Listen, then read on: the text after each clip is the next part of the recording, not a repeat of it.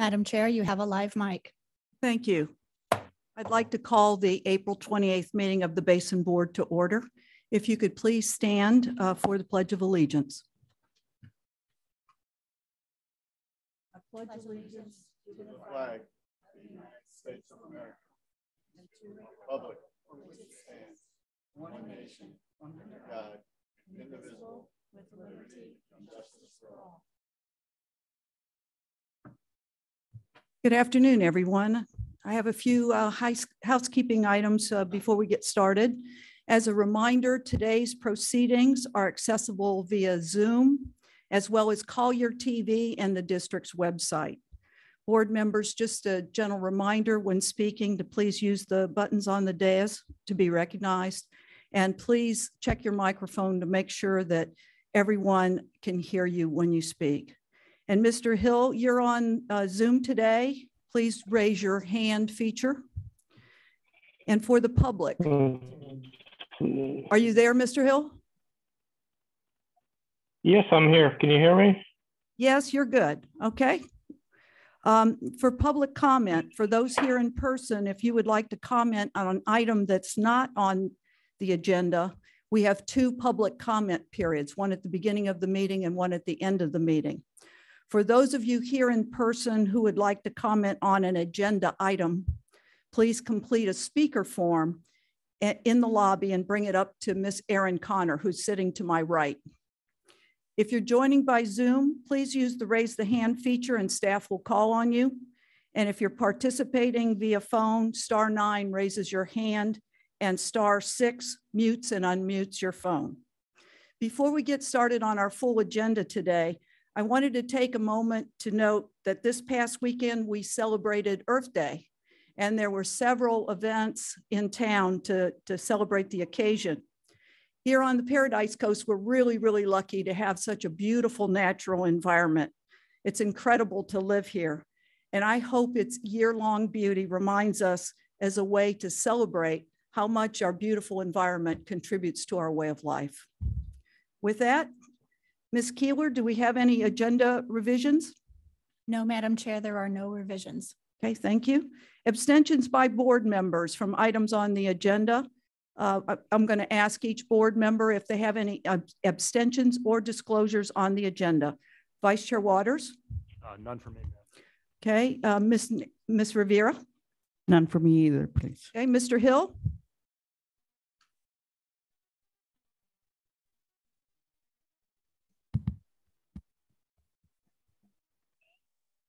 Mr. Hill, do you have any abstentions or disclosures on the agenda?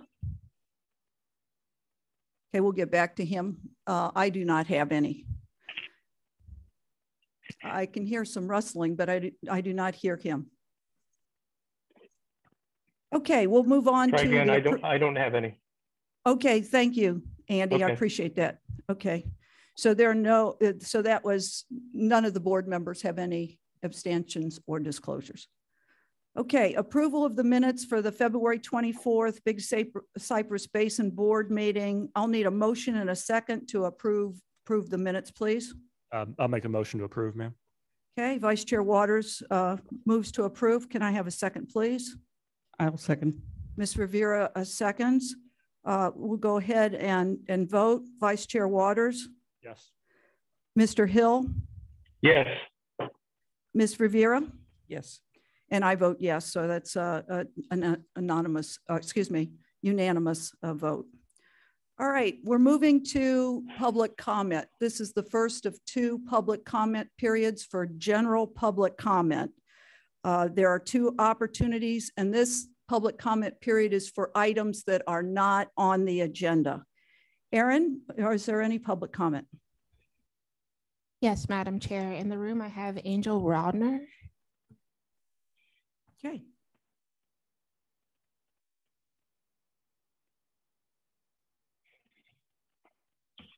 Hi, everybody. I'm Angel, and this is Hannes. And we are here um, in sort of an unusual. Excuse, excuse me, could you bring the microphone down? Yes, and talk right into it. Yes. We're here in a delightful, heartfelt moment to say thank you in person, starting with Charlotte as chair of the board and Lisa Keller. And I'm going to read a letter which will just explain what we feel because you can hear my voice sort of shaking. We are thankful from the bottom of our hearts, don't know how to say more. So, the subject of the letter is bank stabilization along the Faka Union Canal at 3850 37th Avenue Northeast in Naples. And the letter is addressed to Charlotte. Forgive me for saying dear Charlotte, but since you came to see us on the property, we feel like we have a personal connection. We want to express deepest gratitude for solving the huge erosion problem along the east side of our property. Our special appreciation goes to you and your team for a job exceedingly well done. Here's the history. 2010, we purchased the property at the subject address. 2012, we realized that there was bank erosion and we started to make a record of its progress. 2016, we realized that the continuous erosion would endanger our house and our septic field. We made first contact with the South Florida Water Management District about our concern. And this led to a visit by Mr. Joel Arietta, who was then Bureau Chief Field Operations for Southwest Florida Water Management District and he came out with two of his engineers. After the visit, Mr. Arietta's response to us was that the water flow was not impacted and no further action from the team was needed. Oh, we have a gap. Something's wrong. All right, so 2020, I'm so sorry, I will get you the corrected letter. We contacted Lisa by meeting her at a Board of Commissioners meeting. We were there for another reason, but we found out what her role was and we went up and we explained our tragic situation. And she suggested that we submit documentation to her office so they could look into it. And we did. So now we're back officially to the letter, which says our presentation plus various site visits by her organization's engineers led to the conclusion that our house and septic field were truly in danger from erosion. With Lisa's active support, the restoration project was approved by the board. And that's where we say thank you, thank you, thank you. 2022, March 8th, work started on the bank stabilization project when Paul Classe and members of his crew, Mako Touche and Dre Touche, arrived with their heavy equipment. Go forward, not very long. April 27th, all aspects of bank stabilization project, including site cleanup, were completed.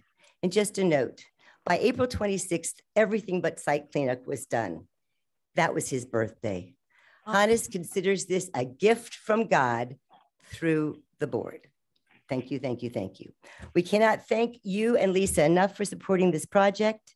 Lisa understood the situation from the beginning and was our greatest champion. Special mention all goes to Paul Classe and his amazing team, especially Mako Touche, Dre Touche, and Mike Barber.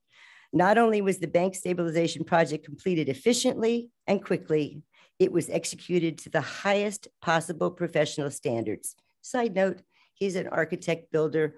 He knows these things. It was real.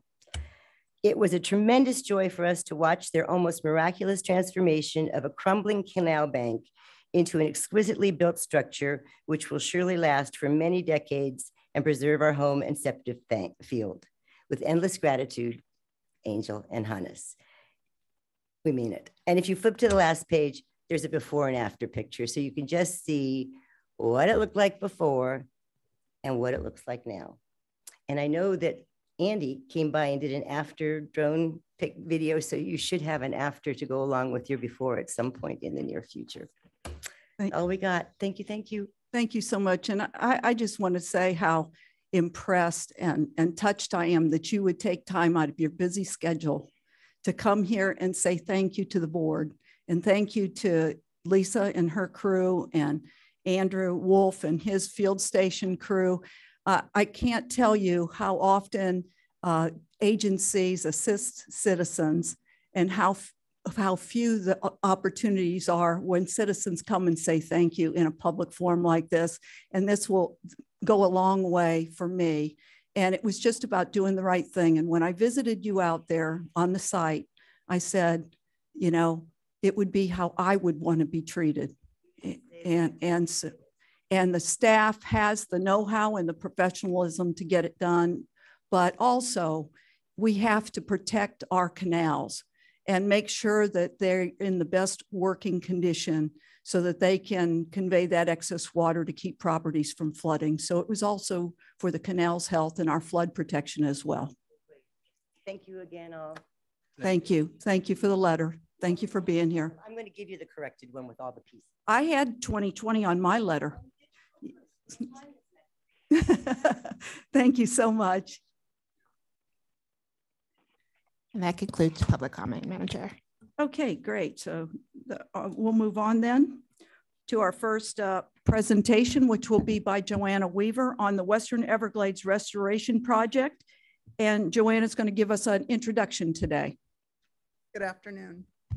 Good afternoon. Thank you all for having me. Um, my name is Joanna Weaver. I'm the project manager for Western Everglades Restoration Project.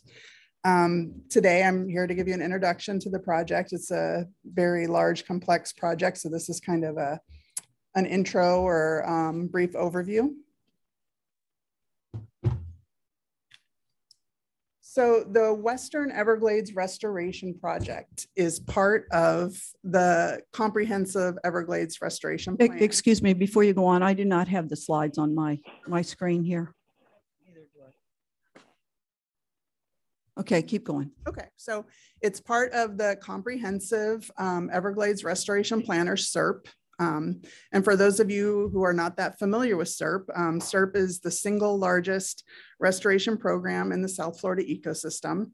It's, uh, it was authorized in the Water Resources Development Act of 2000 and is a uh, federal state partnership that is um, to restore, protect, and preserve the water resources in our region. So it's a 50 50 cost share between um, the federal and state partners. The federal partner is the US Army Corps of Engineers, and the Water Management District is the local sponsor, the state partner.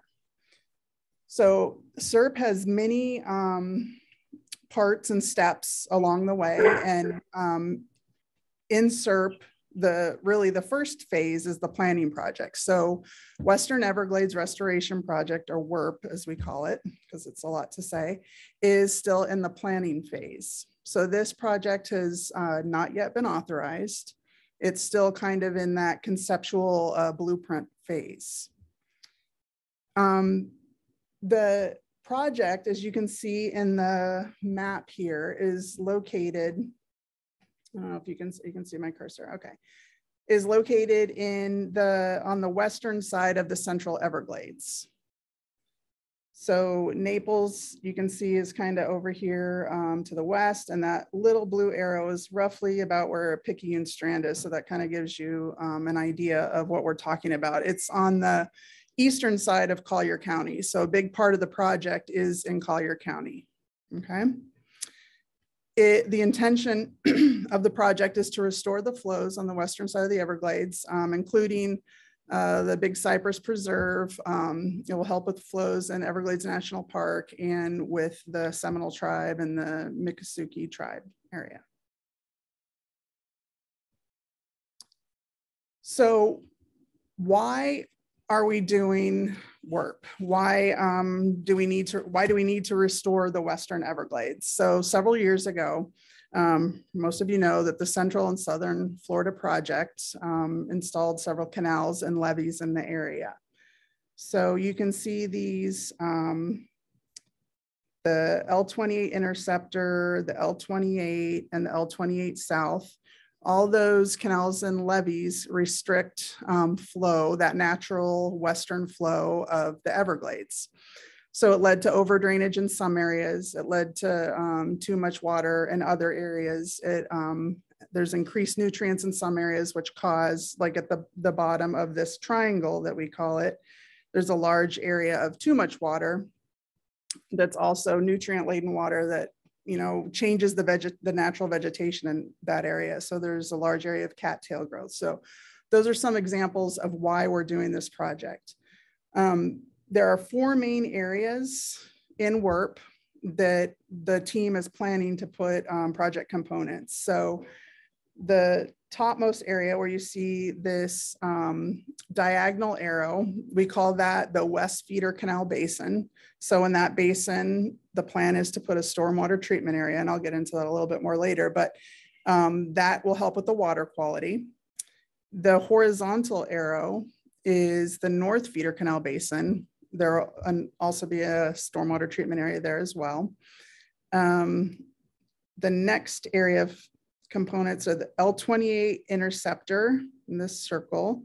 There will be um, a weir installed. Um, some of it will be backfilled and the levee uh, associated with that canal and parts will be degraded. The same with the triangle area here where you have the L28 interceptor and the L28. It looks like they meet, but they don't actually meet. There's some water that's discharged in that area. Um, and those large, the large uh, nutrient discharge has led to that cattail overgrowth, like I said. Um, so some of the, this, um, most of these canals south of I-75, which you see here, um, most of those canals south of I-75 will be backfilled and the associated levees degraded. Then we also have some work being done down here. We call the L28 um, south. Uh, we have the L28 tieback. Parts of this, the tieback here will be filled in the levee degraded and then some parts, uh, not all of it, but some of most of the L28 south will be uh, backfilled and the levees degraded. Then also some conveyance structures will be put underneath um, this canal to allow water to flow from water conservation area three, just to restore that western, westerly flow down there. Just to kind of orient yourself, um, because I know it's hard, th this project is so massive. It's um, roughly 1,200 square miles, about the size of Rhode Island. Um, so it's very large. Um, you can see Lake Okeechobee is up here in the top right corner. Uh, I-75 is about through the middle of the map, and then US 41 is way down towards the bottom. So um, this area here is the Miccosukee Reservation and Collier County, the Collier County line goes down like the um, western side of the Miccosukee Reservation, just so you get an idea. So a good portion of this is located within um, Collier County.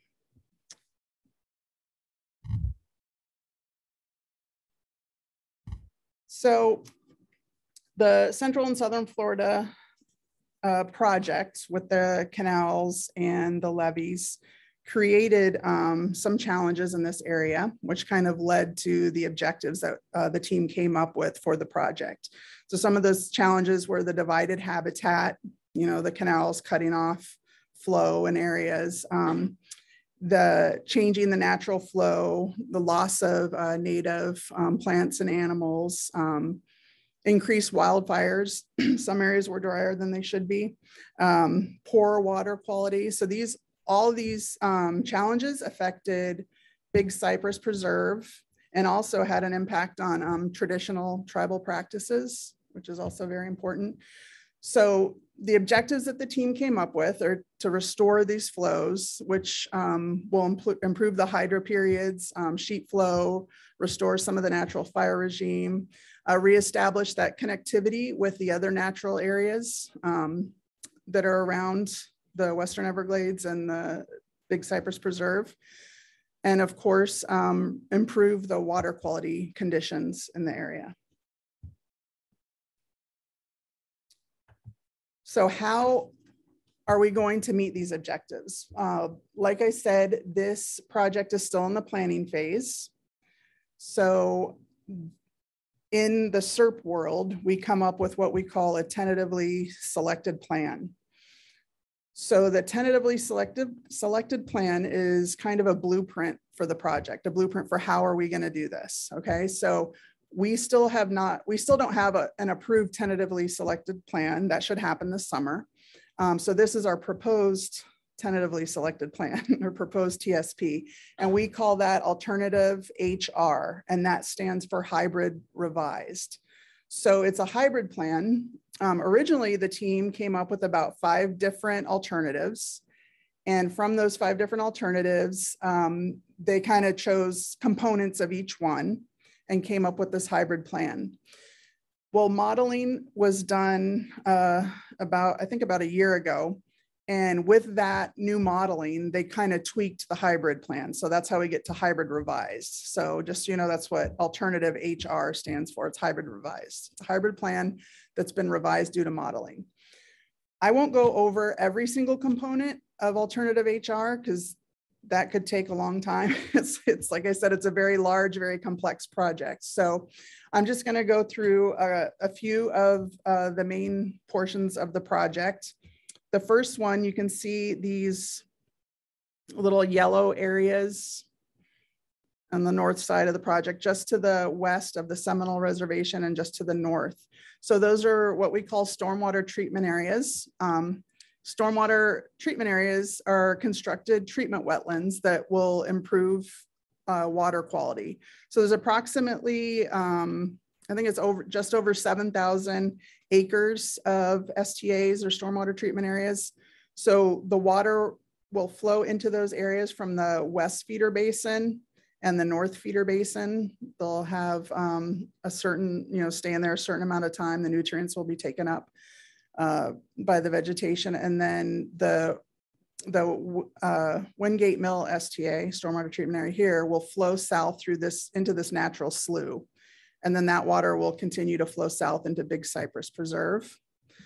Uh, the North Feeder STA, the water will flow into that from the Western Basin and flow in, be discharged into the L3 and then be discharged south um, down into, and it will eventually flow into Water Conservation Area 3.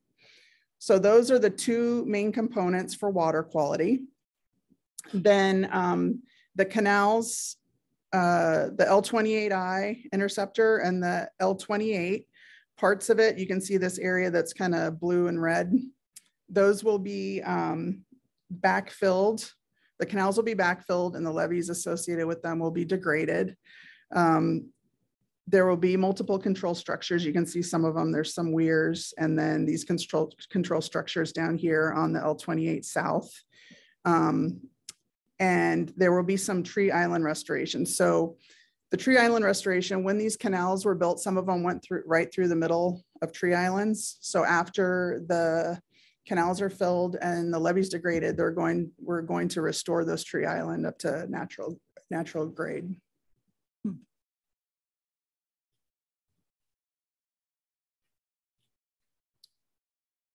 So the district um, thought about, you know, what we could do, what the team could do to expedite some of these project features. So these features are still a part of WERP. They're still um, cost shareable. Um, but we wanted to come up with, to think of something that we could do to get the project moving forward until it's authorized. Um, so these the team came up with um, the idea that we could uh, go ahead and um, design, do the design for the uh, water control structures that go under L28 South. So this is the area down near US 41. Um, the, I'm sure some of you are probably familiar with the jet port here.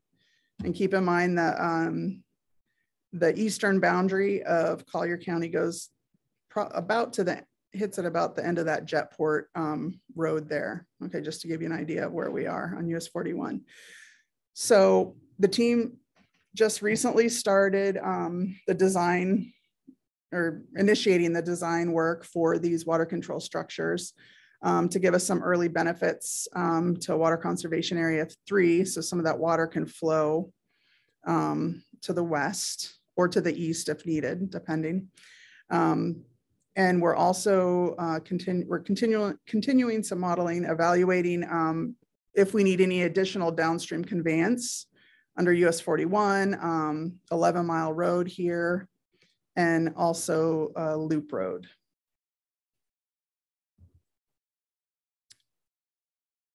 So finally, um, the schedule, where are we? We're, um, like I said, we're still working on the tentatively selected plan and At the time that this, um, these slides were written, it was, we were hoping for August of 2022, but we're trying to move that up a month to do, actually do it earlier than we originally stated, which is good.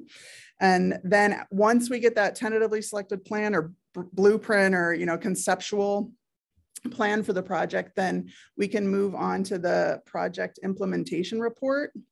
And the project implementation report includes um, the environmental impact statement and the, the NEPA coverage. It's a, it's a tight schedule, but, um, you know, we're pushing through it and we're definitely, you know, have a, have a good path moving forward. And there are some, uh, a few policy issues that we're working on for the project implementation report, including um, the- real estate in the area. There's um, a lot of in, in holdings in Big Cypress Preserve and um, north of I-75. Also water quality. So those are the couple of the policy issues that we're currently dealing with.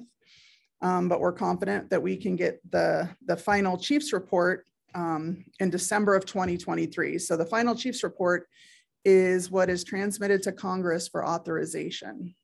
So once that goes to Congress for authorization, um, we're hoping it's included in the um, WRDA 2024, the Water Resources Development Act of 2024.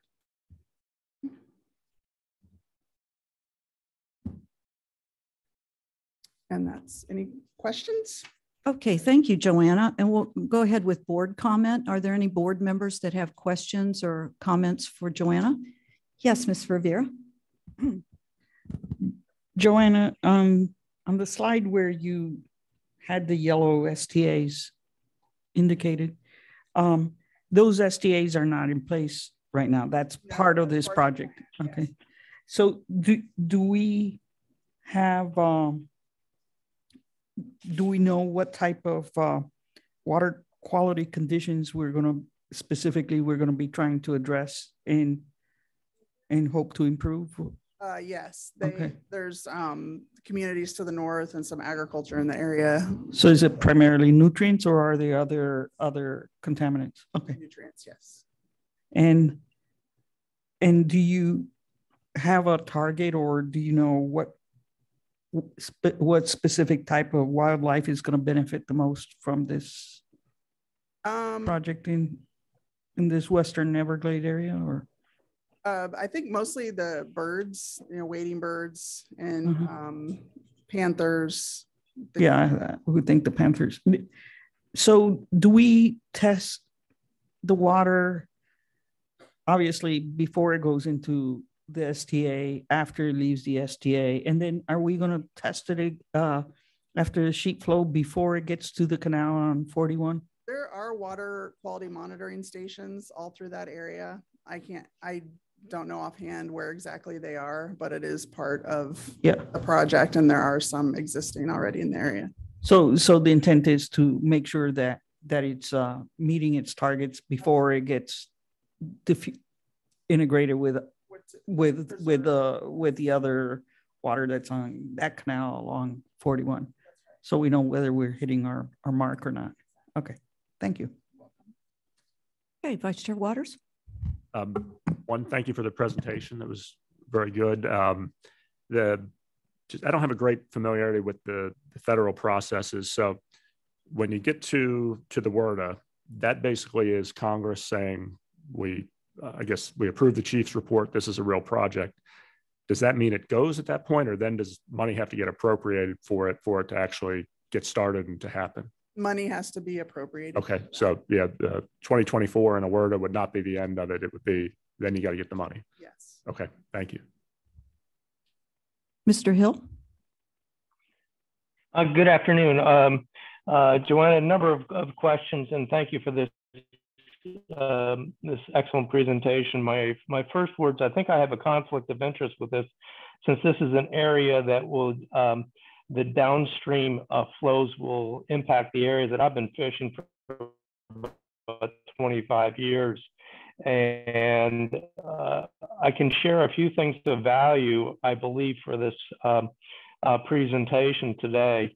Uh, what I have experienced is a significant reduction in freshwater flows And that's been, I believe, and I'm not a scientist, I leave that up to you and others, the, um, the uh, salt um, marsh grasses along the western Everglades, uh, the perimeter of the estuary has is basically void of salt marsh grasses and also turtle grasses further offshore that once predominated that whole area now are gone.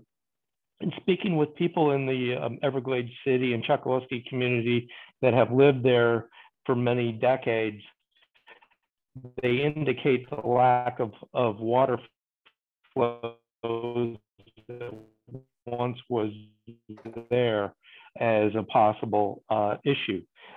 I did have a technical question though. Uh, I see a number of little uh, circles um, adjacent to Highway 41. I'm assuming those are uh, ducts for allowing for water flow underneath the road?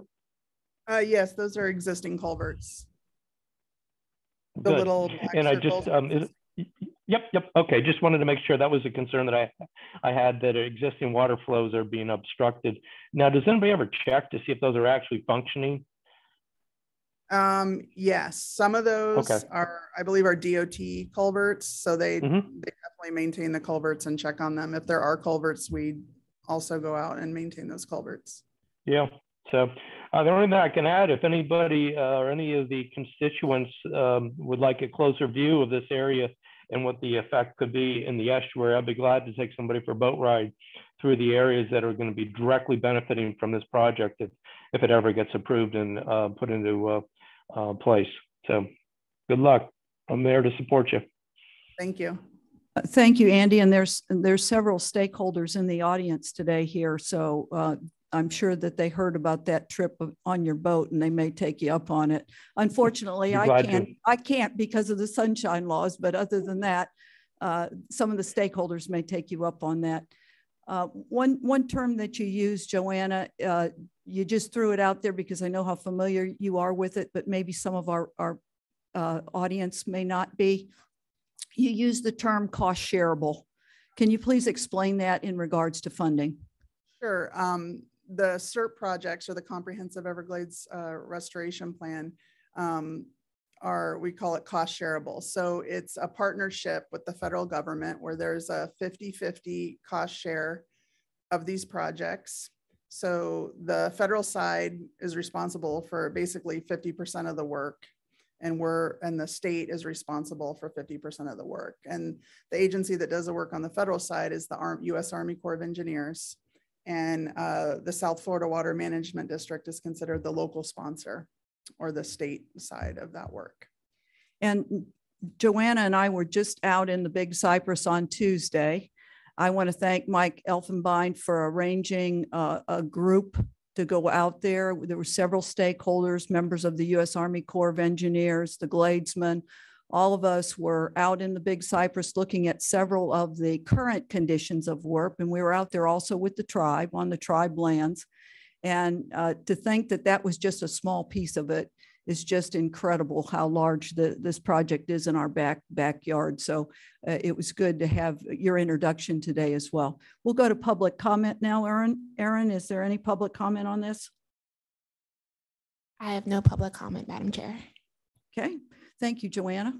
Move on to the next item. All right, the five-year update to the Lower West Coast Water Supply Plan, very another important topic to our coast. We've got uh, Tom Colios who's going to kick it off and then we'll be followed by Bob. Good afternoon. Thank you for having me here. Um, As Chairman uh, Roman has stated, uh, my name is Tom Colios. I'm the Water Supply Planning Section Lead at the district. I'll be giving you some background information about water supply plans, and then I'll turn it over to Bob Verastro, our Lower West Coast Plan Manager, and so he can give you some details about the overall plan update as well as specific information about Collier County. Uh, This presentation is really for informational purposes and no actions required by the Big Cypress Basin Board.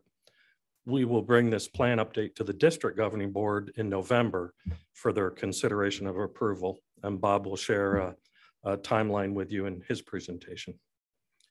Um, we don't start from scratch on these plan updates. Instead, we build on the work that has been done previously. Every five years, we had, we're required to update a water supply plan. Um, they were initiated in the 1990s and regular updates have been made uh, to these plans ever since.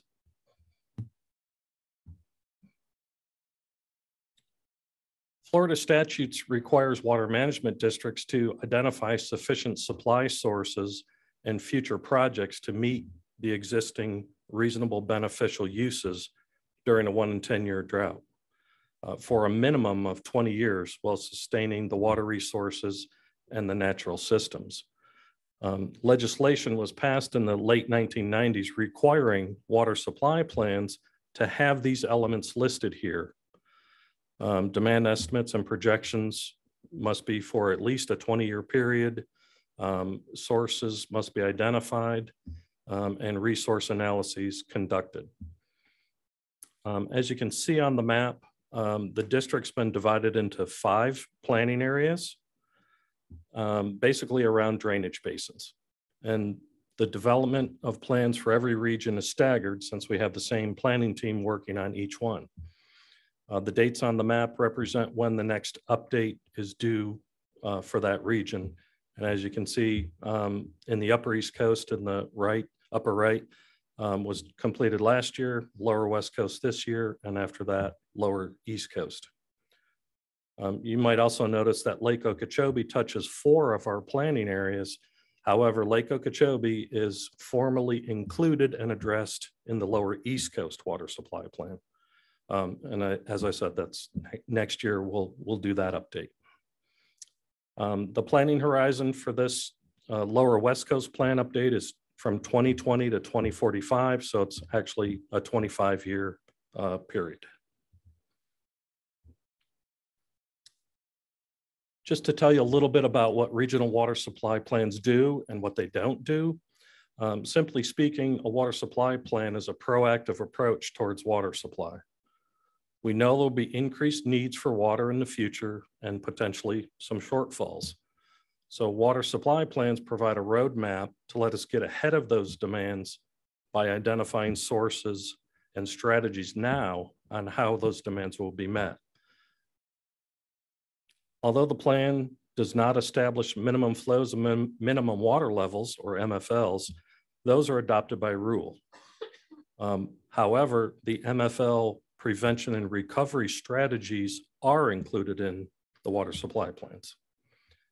And approval of the plan triggers a requirement for local governments to update their 10-year water facilities work plan within 18 months of plan approval. Public participation is critical to our process. Um, we look for multiple opportunities to solicit input. Um, as indicated here, we use a, a variety of forums to solicit input, um, governing board meetings, stakeholder meetings. We had our first stakeholder meeting um, last month in March, March 15th, and we plan on having our second one next month um, in the end of May.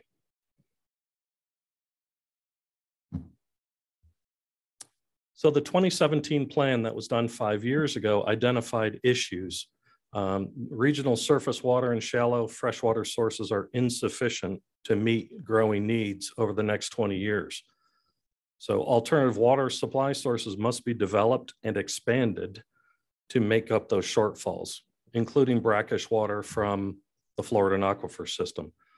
The long-term sustainability of brackish water sources was analyzed with regional groundwater modeling, which was presented in 2020 and will be presented again next month at our second stakeholder meeting. Um, but the plan did conclude that future demands can be met through 2040 with the appropriate management, conservation, and implementations of projects in that in the plan. And that's all I had for uh, my overview. Um, I can take questions or turn it over to Bob for some more detailed information.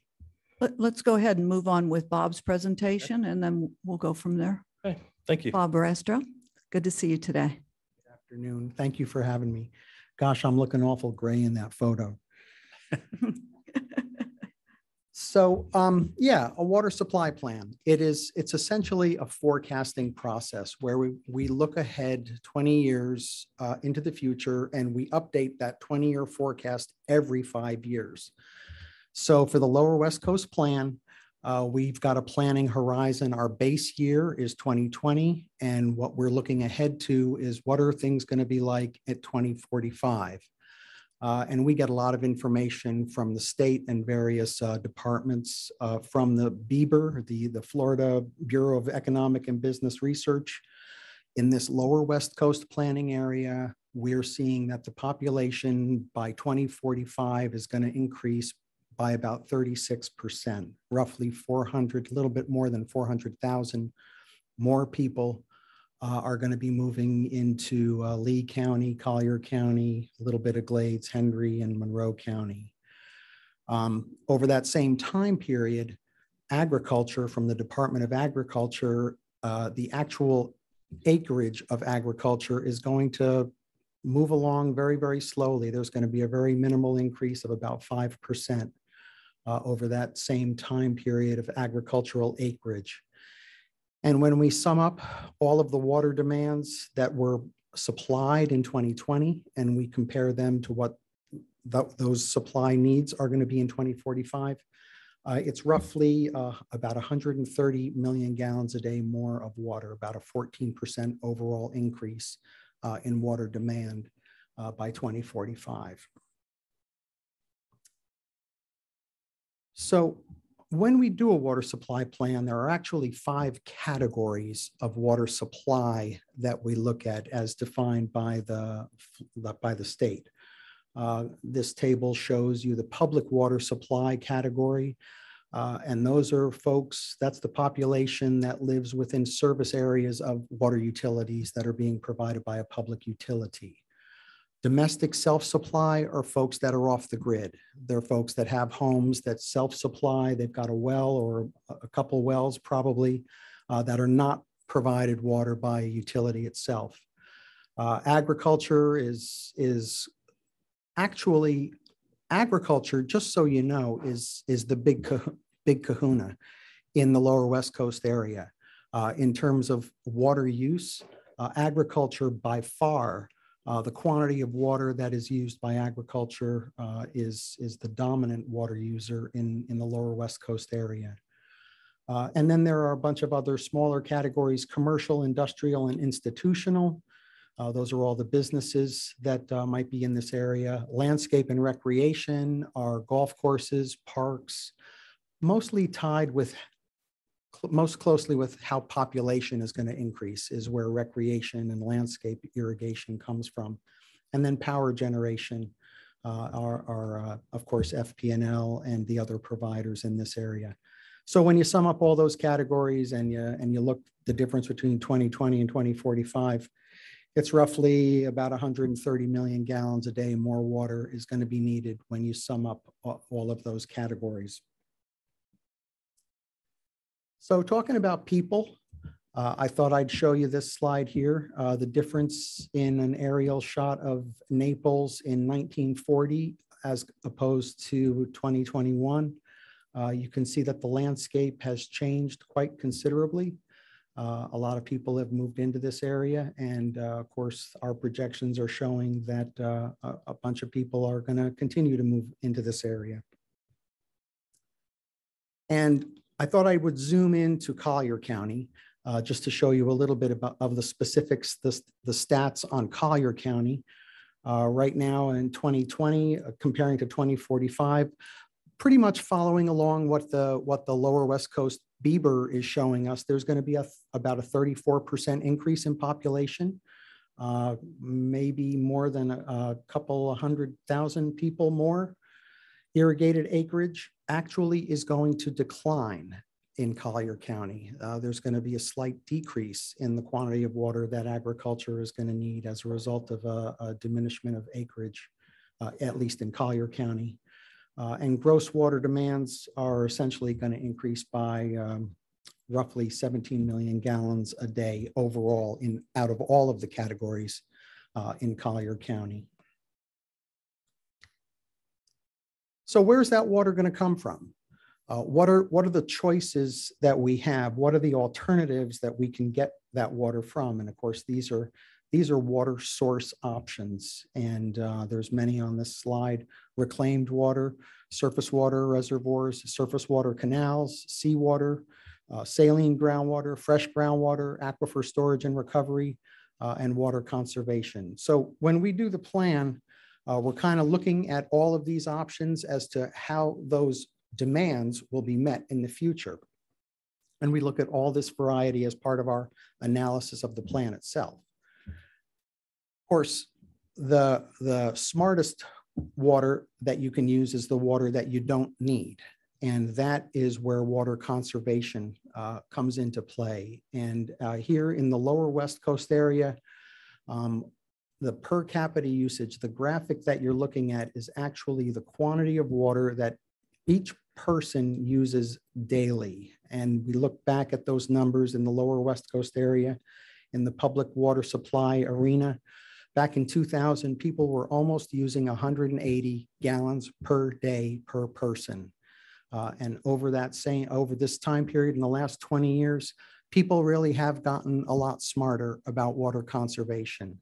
Um, there's a lot, there are irrigation ordinances now. A lot of the public water supply, uh, people have gotten smarter about, about using the potable water that they have uh, and about the expansion of reclaimed water, substituting reclaimed water for irrigation rather than, uh, rather than potable water. So uh, I think, I think it's something of a success story right now. The, the per capita rate is about 120 million, 120 uh, gallons per day per person.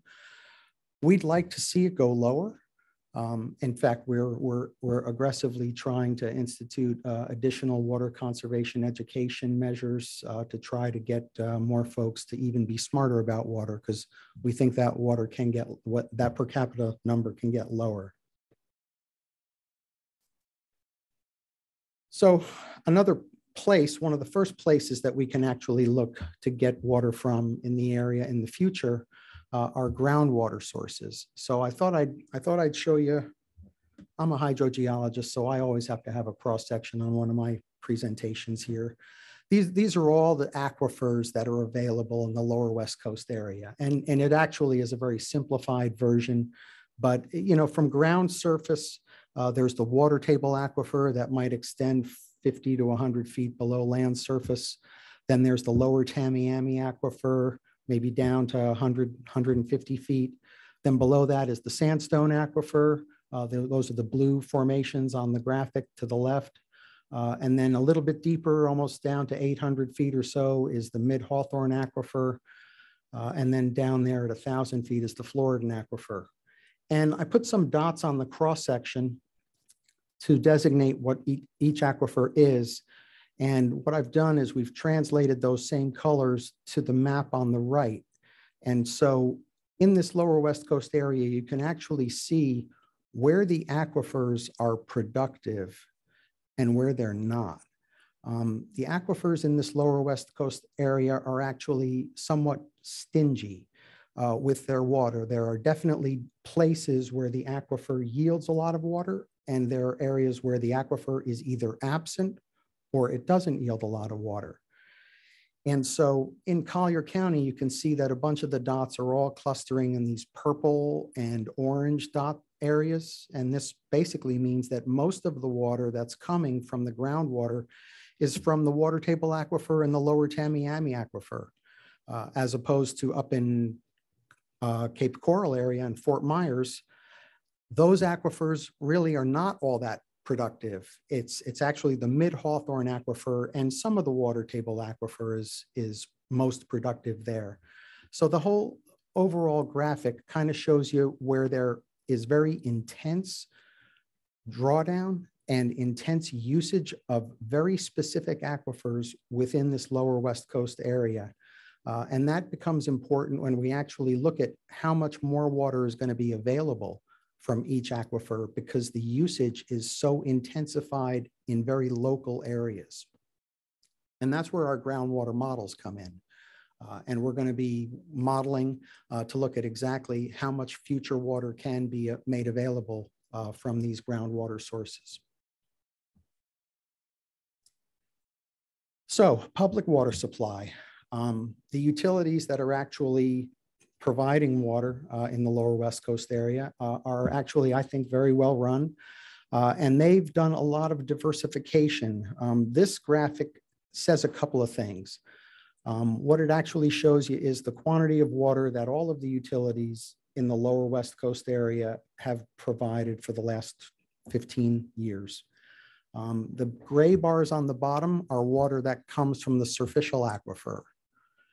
The dark blue bars are water that's come from the intermediate aquifer. And, and the light blue bars on top are water that's come from the Floridan aquifer. Uh, and over time, you can actually see that it's the surficial aquifer, the gray bars, have really not increased all that much. The utilities have kind of gotten, most of the utilities have gotten off of the surficial aquifer system uh, so that they don't draw down wetlands and don't impact the, the surface environment all that much. And they've gone into the deeper aquifers, the intermediate aquifer, uh, and then the Floridan aquifer down at a thousand feet, which is brackish, uh, is providing a lot of the new water. The most, most recent water has come largely from the Floridan aquifer. So that's what those blue bars represent. The purple line that crosses all those bars is the population of the lower West Coast area. And I think what that says is that as population has actually increased over that same time period, the water utilities have really not had to provide an awful lot of additional water. And that is a function of conservation and a function of smarter usage and expansion of reclaimed water. The actual potable water that the utilities have had to provide has actually been compressed as a result of conservation and the expansion of reclaimed water systems in this area. So uh, a little bit about the utilities that are specifically in Collier County. I thought you'd want to know about what your big water providers are, are doing here. Uh, this table's got a lot of numbers on it, but simplistically, what I wanted to do, and we'll start with Collier County on the left here. Uh, the first row, the top row is the quantity of water that Collier County utilities had to provide in 2020. Then when we do our projection for Collier County, by 2045, they're going to need to be able to provide 36.7 million gallons a day of water. Collier County Utilities actually has firm capacity. The actual facilities in place right now to be able to provide 52 million gallons a day. So that utility is actually very well positioned to provide for future water. And their actual water use permit from the South Florida Water Management District allows them to, to provide up to 55 million gallons a day. So Collier County Utilities, generally speaking, is very well positioned to provide the water that the water that the people will need in the in the future in this planning horizon. Uh, Marco Island, uh, it's kind of a similar story. Marco provides a little bit, or in 2020 provided a little more than 7 million gallons a day. Uh, by 2045, they're going to need to produce about 10 million gallons a day. The plant has capacity of almost 13 million gallons a day. Uh, and their water use permit also allows them to pump up to up to 13 million gallons a day. And Naples, 14 million gallons a day is what they did in 2020. They're going to need about 18 million gallons a day by 2045. They've got the water plant that's capable of providing 30 million gallons a day. Uh, and they've got a water use permit that just about gives them what they're going to need by 2045. So I think the utilities here are very well run. They got a lot of smart people working for them. Uh, and um, I think they're very well positioned, generally speaking, uh, to provide future water demands for people uh, and a little bit reclaim, about reclaimed water. Uh, I think reclaimed water has been part of the story uh, where the utilities have not had to expand their potable water usage by all that much as a result of the population uh, because of the expanded use of reclaimed water uh, for irrigation. Uh, in Collier County, there's about 25 million gallons a day of rec reclaimed water that's being used.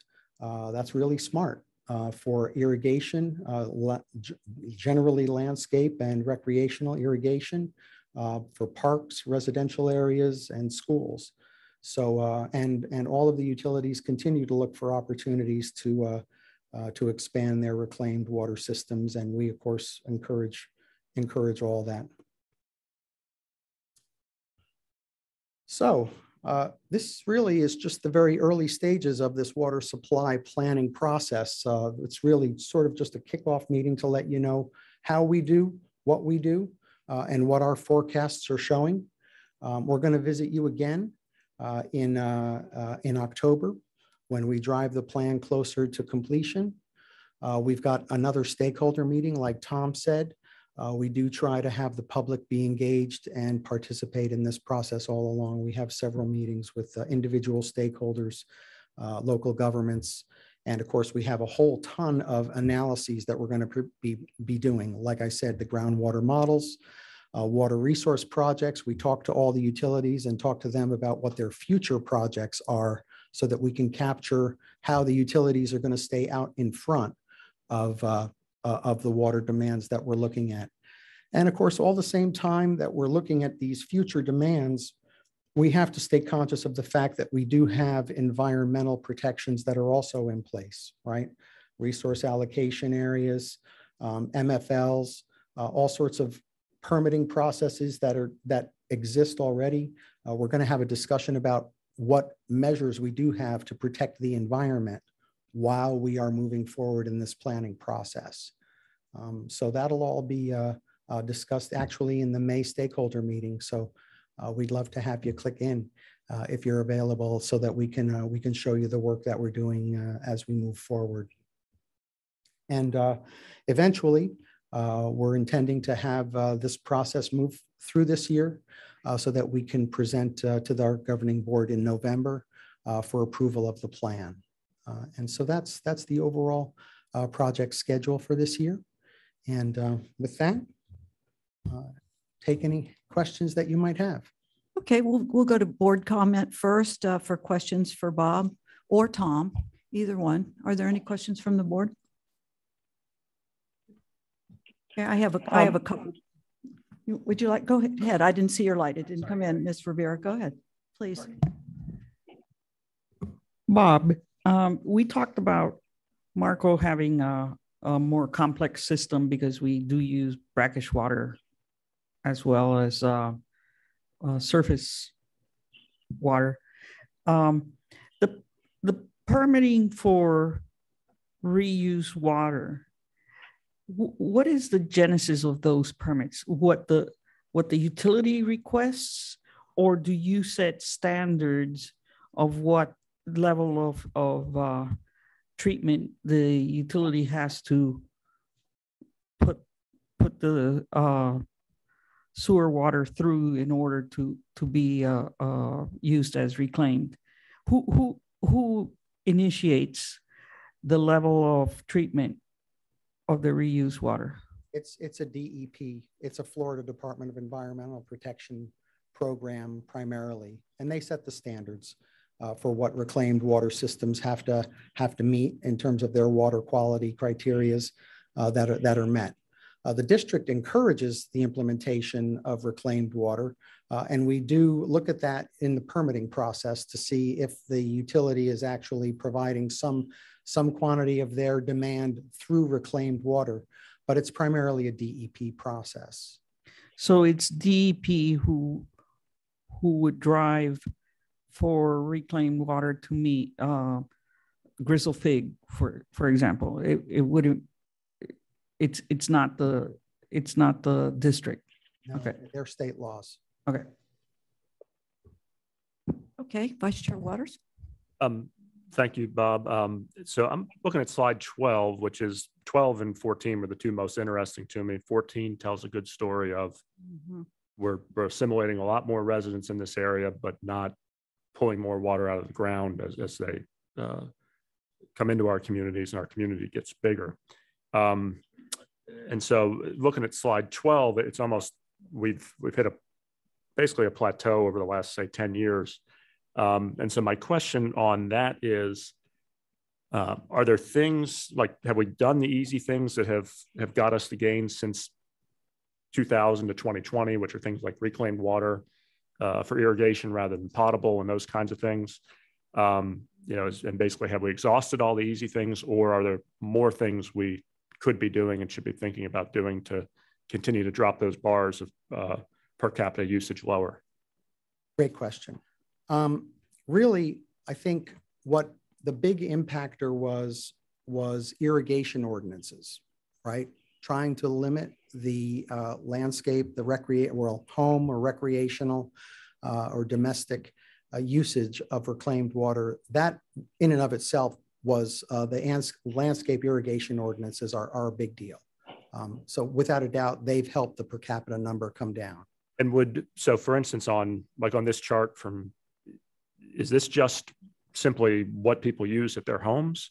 Or would this include, you know, say a golf course that's pulling groundwater to irrigate uh, the golf course? Would a, you know, reduction from uh, in landscape ordinance be reflected in this? These numbers come from home, uh, domestic. Homes. Okay, so this this is Public- basically just Public service area homes. Okay. Yeah, this is, this is the quantity of water that each utility has to had to provide for, for their, in- within their service area, which is largely homes. Mhm. Right? A- And, that's where those irrigate, irrigation ordinances have, have been implemented. Okay, so, This would not include like golf courses uh, in this chart.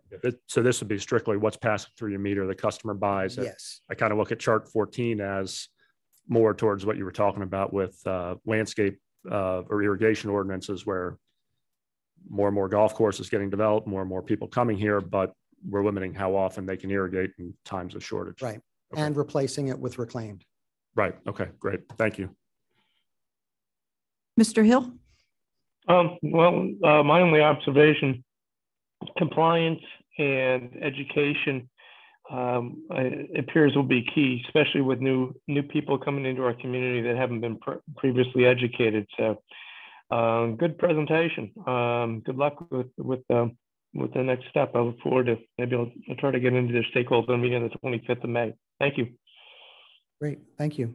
Thank you. Uh, Bob, really appreciate your presentation. I have a couple of questions. Could you elaborate a little bit about these, these public meetings and, and how you conduct them and how someone finds out information about them? Of course. Um, well, the public meetings that we have been doing have been via Zoom. Uh, and that's when the second, all of our stakeholder meetings will very likely be, be via Zoom. Uh, we just sent out uh, an email blast to 400 stakeholders in the lower West Coast area uh, just two days ago. Um, so we maintain a massive database of anyone who's interested in participating. Uh, we try and be as broad as we can with uh, governmental agencies as well as non-governmental agencies and and uh, residents. Uh, whoever whoever would like to participate, we certainly welcome uh, and and encourage. Actually, you know, this is this is a very transparent process. And just just like you earlier today, talking about residents that came here to speak that's huge. That's really huge. We value that. And, and so by all means, know, please, if, if, if anybody else would like to participate, we'd love to have them uh, participate. And via Zoom makes it easy. Right. Uh, And Bob, so, so somebody who's never done this before, do they go to the SFWMD website and sign up to be getting water supply notices or interest in water supply? Do you know the easiest way to do that for them? Absolutely. Um, actually, the last slide. Okay, that's on the plan and, okay, and, but how do they get signed up for the workshop announcements? There will be a link uh, at, at the web page to be able to go to the meetings. Okay, super. And I attended the first one and it's just as professional and understandable as what Bob and Tom did today. And it's great stuff and I'm really excited because it really, it really impacts our community uh, in a, in a positive way for us to do planning that, that's, that's uh, really uh, well thought out. And I appreciate that. And just as a second note, how many hydrogeologists are there that work at the district besides you? Roughly? I'd say about 30. About 20 30. 30. That's an, uh, that's a, an immense brain trust. Yeah, scientists of that caliber that work at the district is just an incredible uh, bunch of professionals that can, uh, I guess, opine on this, right? And talk to us Close, uh. They're not as smart as me, but they're close. Okay, well, thank you. Uh, Is, are there any uh, people signed up for public comment? Yes, Madam Chair. In the room, I have Brad Cornell. Okay, great.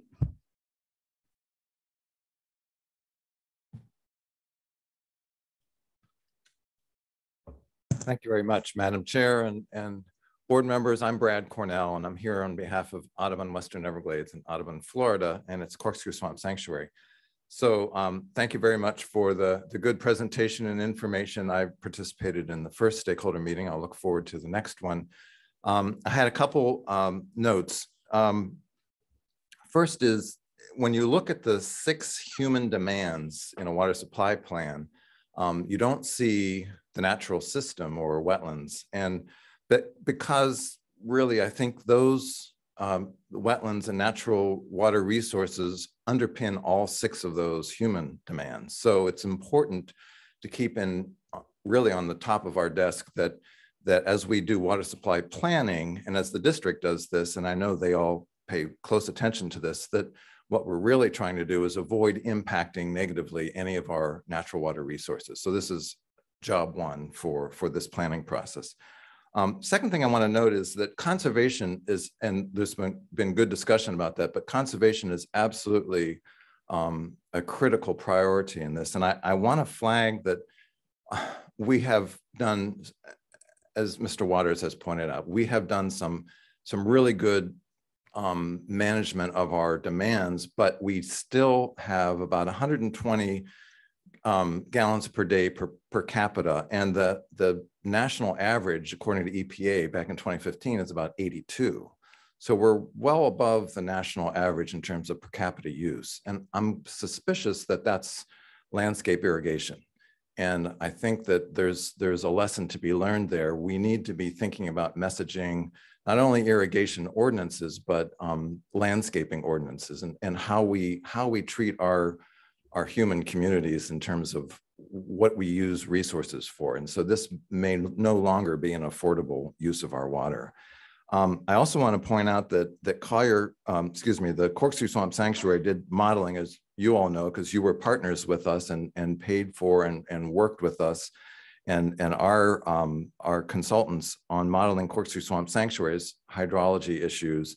And one of the things that was identified that, not the pre preeminent issue, but an important uh, factor was the combination of agricultural irrigation and public water supply as a big impact on Corkscrew Swamp Sanctuary. So as we look at water supply planning, that's an important factor. Um, and I also want to encourage, I, I see um, a slight trend of improvement in terms of the lower West Coast getting off of surficial aquifers, but um, that's still, there's a lot of room to be improved in that department. And I would go back to the conservation admonition. We need to be doing a better job in order to reduce that demand on surficial aquifers. We need to be reducing our overall demand. Um, so thank you very much. Appreciate it. Thank you. Aaron? And that concludes public comment on this item, Madam Chair. Thank you very much, and, and thank you very much for your presentations today. Appreciate it. And I think with that, we'll take a short break before the next item. Uh, It's 2:38. At 2:48, we'll come back and, and hear uh, item number nine. Okay, thank you.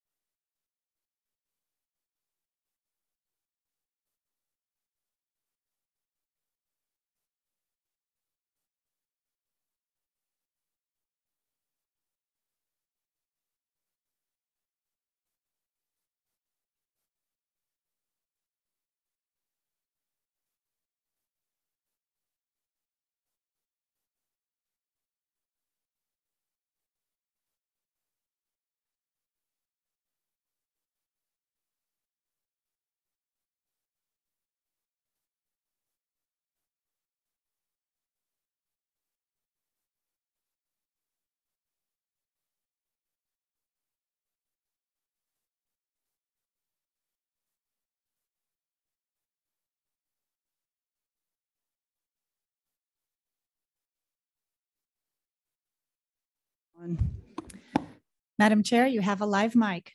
Thank you, Ms. Keeler. And we'll come back to order now and begin uh, with uh, the next agenda item, which is the modeling update for the Logan Boulevard emergency pump operations. Akin Owosina. Thank you. uh, good afternoon, uh, Chairwoman, Governing Board members.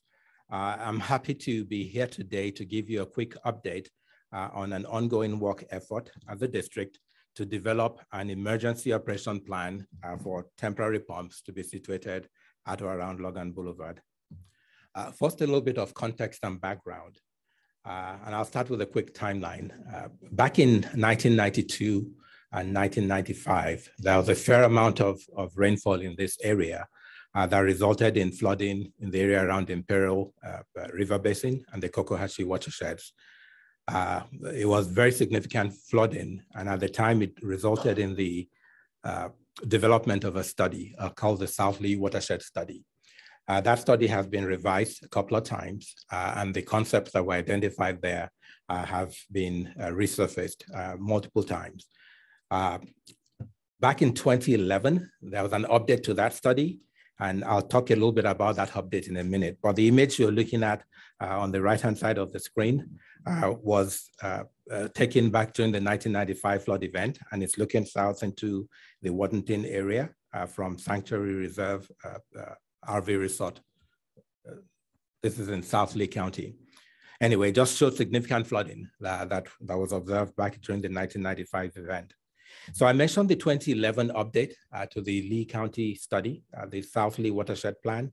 And I'm showing a quote here, and I'm not going to read the entire quote, but I'm going to highlight four items uh, from this uh, particular uh, recommendation of that update study that I'd like to, to bring your attention to.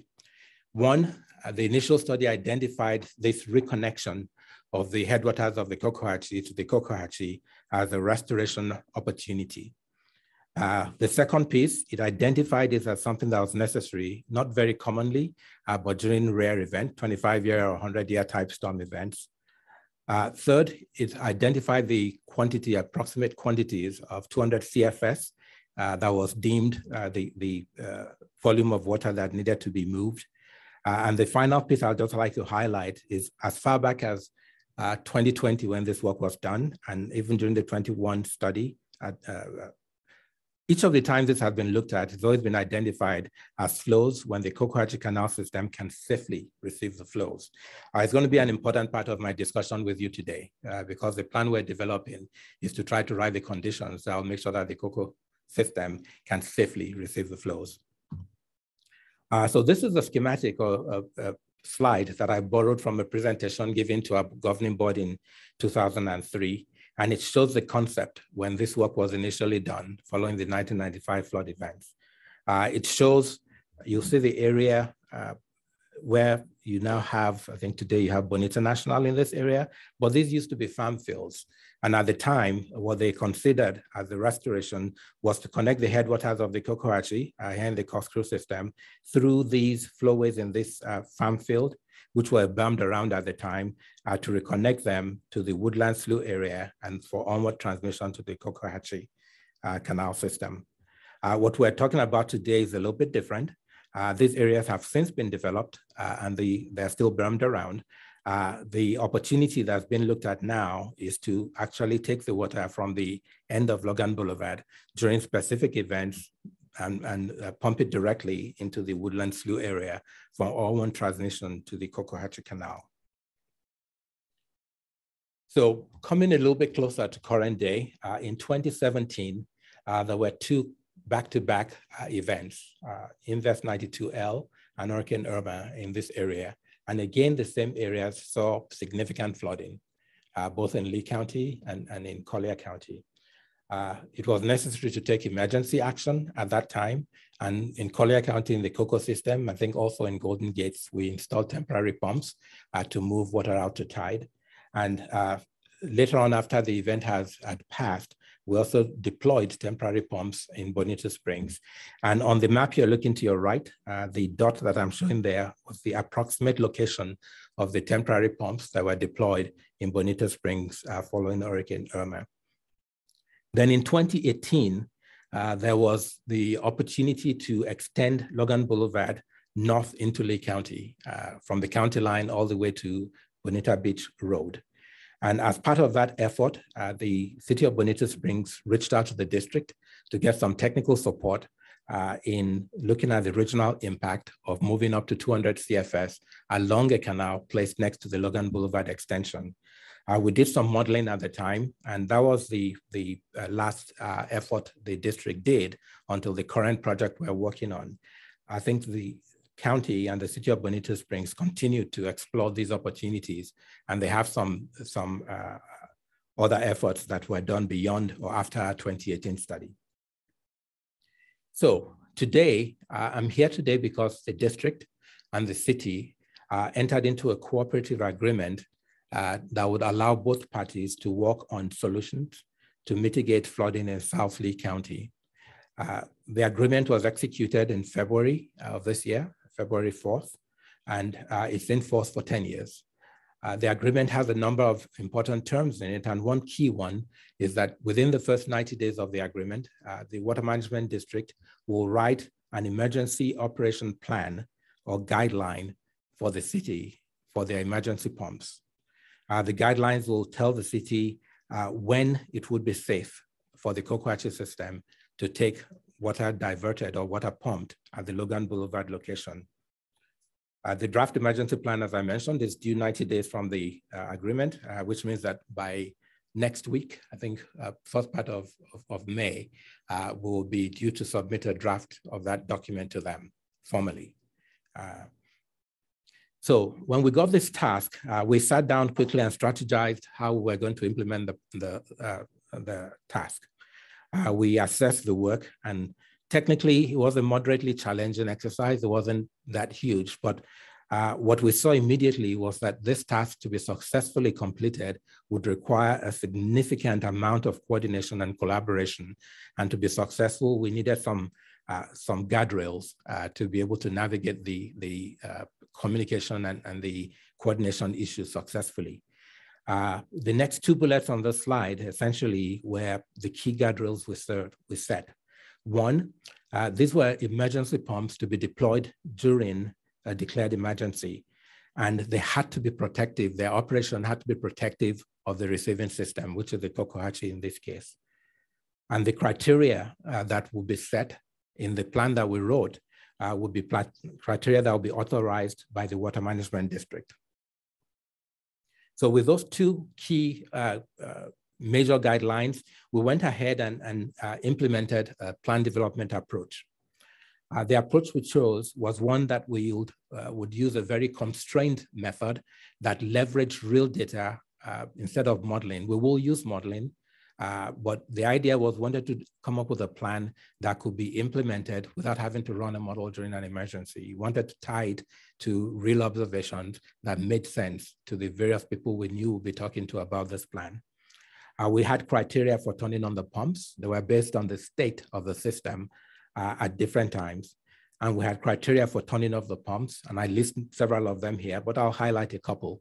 Uh, obviously, we felt that the pumps needed to stop pumping uh, if the emergency was over, uh, if the situation in, in Lee County had improved, or if there were conditions in Collier County that were uh, not desirable, if the system were re reversing, for example, and water level was going up instead of going down, or if we anticipated something like major rainfall and wanted to create storage uh, so that the system in Collier County could continue to provide flood control in that uh, part of the county. On the map to your right, I show a number of dots, uh, which were the areas we looked at through our models. Uh, the green dots represent area we looked at for criteria to be able to turn on the pump. Uh, the red dots were areas we looked at to be able to determine if the pumps needed to be stopped. And uh, the areas in yellow were areas we looked at in modeling to see how the system was responding overall. We put together a multidisciplinary team to do this work. Uh, it was a broad team to be able to handle the various aspects of, of uh, this particular uh, task as we saw it. We had water managers, people responsible for operating uh, the, the system here. We had engineers and modelers, uh, experts in hydrology and hydraulics, uh, we had people who were familiar with the regulation and permitting. and folks who run the field operations within this region.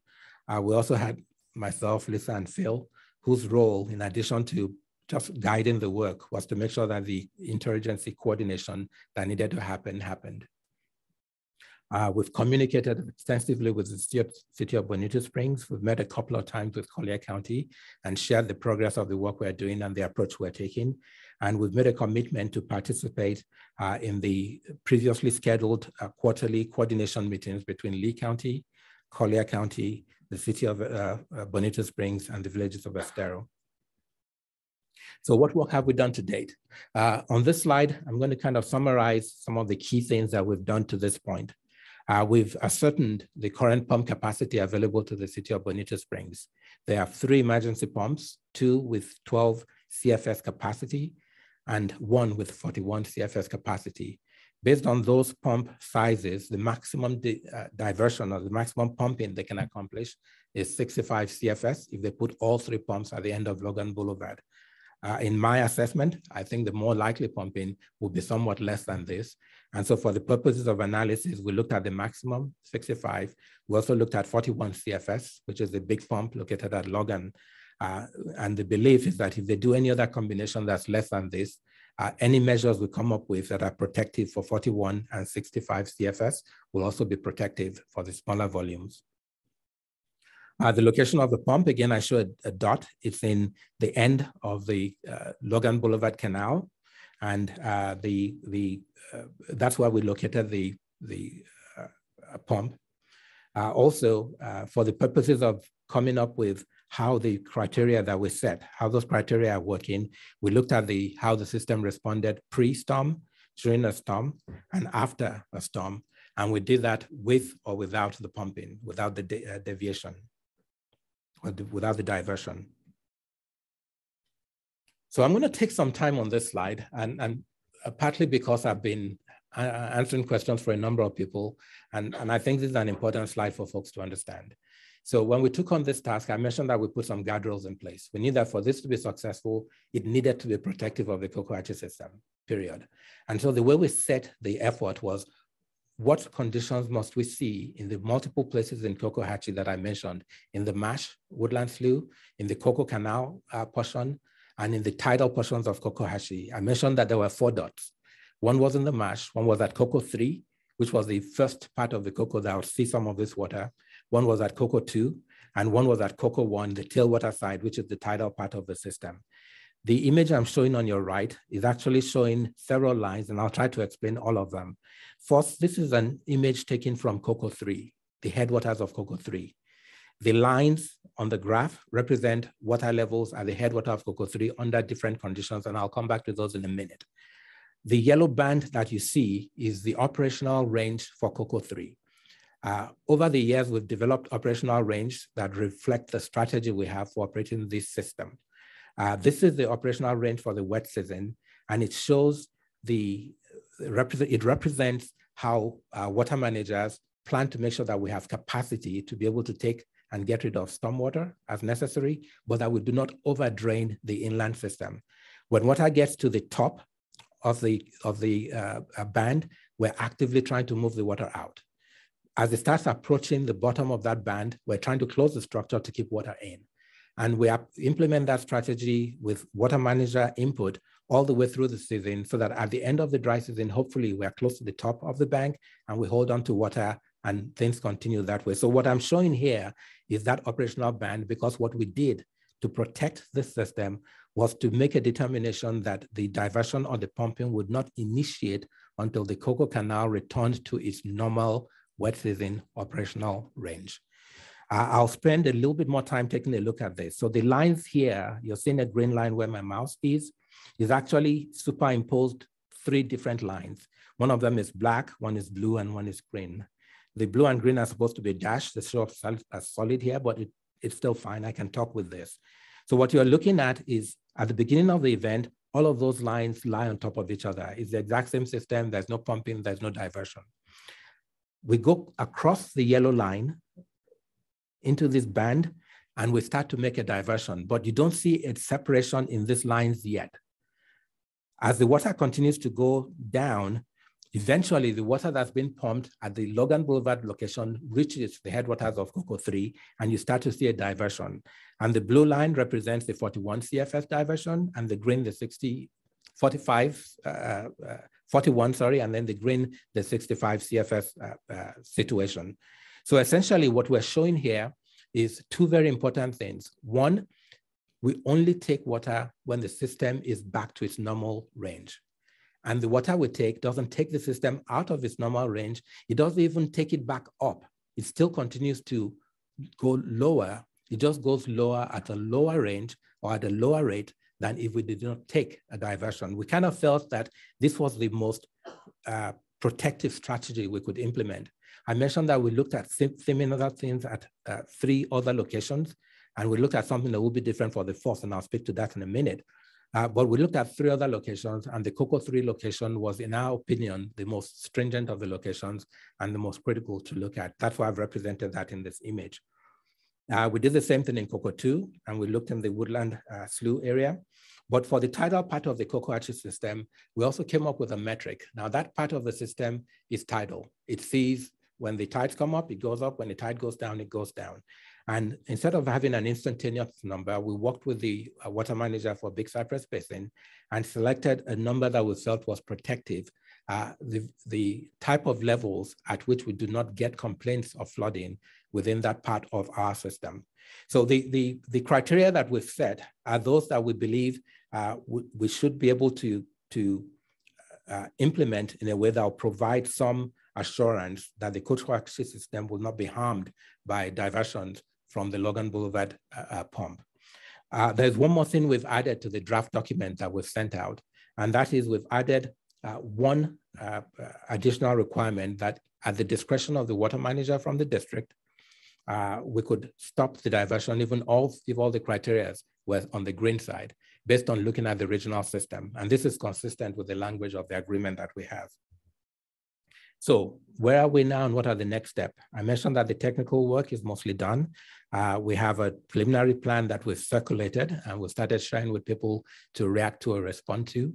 Uh, I'm going to take the initial comments we get and uh, wrap those into a final draft that we will submit uh, formally uh, early in May to meet the 90-day requirement. But that doesn't end our process. We expect that we'll continue to uh, test the scenarios uh, or suggestions that we get from critical stakeholders. We'll continue the discussion with the city of Bonita Springs, as well as with Collier County.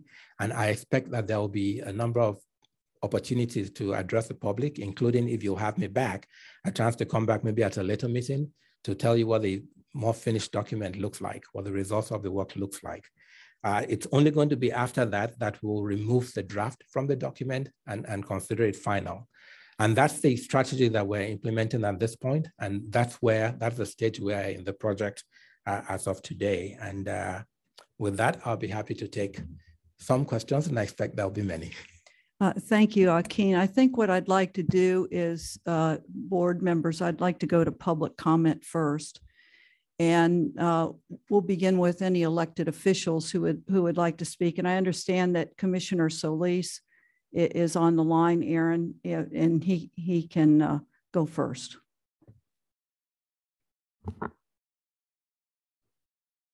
Commissioner Solis, are you with us? He hasn't quite raised his hand yet, so he might not be in the room yet. Okay, well, let me know when he does, but I, I will do. Okay, thank you. Uh, the next uh, public partner, I would say, would be uh, Trinity Scott, who's representing Collier County today.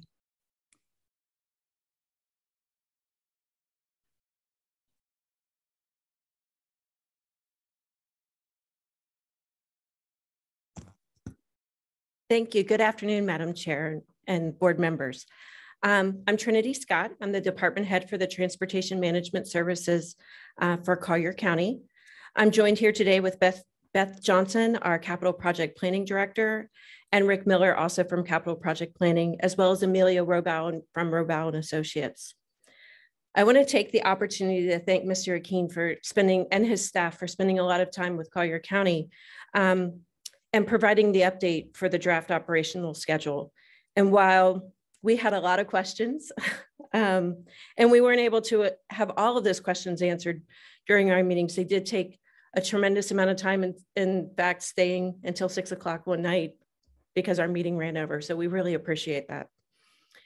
Many of our questions revolved around flowway ownership, maintenance responsibilities, and impacts to infrastructure. The Collier County Board of County Commissioners passed a resolution in 2018, which opposed the functional diversion of stormwater from Bonita Springs, Lee County, until a cooperative and coordinated review of all proposals related to the diversion was completed with Collier County, the city of Bonita Springs, and the Water Management District participating. We had requested that all proposals undergo a full vetting, including modeling, engineering, supporting science, water quality, alternatives to the diversion, impacts on the primary, secondary, tertiary, tertiary, and estuary systems and surrounding neighborhoods and properties. And most importantly, we asked that a full public outreach be conducted. We understand that the emergency pumping and associated operation schedule does not require a rigorous permitting process. But our concern is what should be used for emergency purposes is going to become the fix. We will be requesting, respectfully requesting that the city of Bonita Springs provide an update of where they are in completing the priorities identified in the South Lee County Watershed Plan update, of which this diversion was prioritized 11 out of 11. I'm very happy to hear Mr. Akin state that this will be a draft document until we're able to get our comments in as well as comments from other stakeholders before the document is finalized we stress the need to have public discussions with regard to this, um, specifically with property owners. And in fact, we have been coordinating with the basin staff about having Mr. King come to a future board meeting um, to present to our full, full board of county commissioners. Collier County has been willing to work cooperatively with the city of Bonita Springs and the Water Management District to determine options that are in the best interest of residents, businesses, and visitors, but it must be an open and transparent process with all stakeholders included. And I thank you very much for giving me this opportunity today. Thank you very much. Thanks for being here. I do have Commissioner Solis with us. As a reminder, I think you're on your phone, so just star six to unmute. Commissioner Solis, go ahead.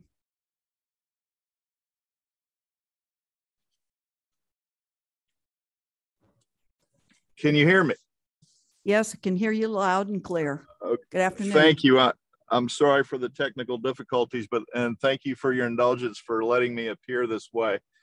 Um, eh, I'd like to just reiterate what uh, what Trinity Scott had said, and I'll leave the technical issues to her.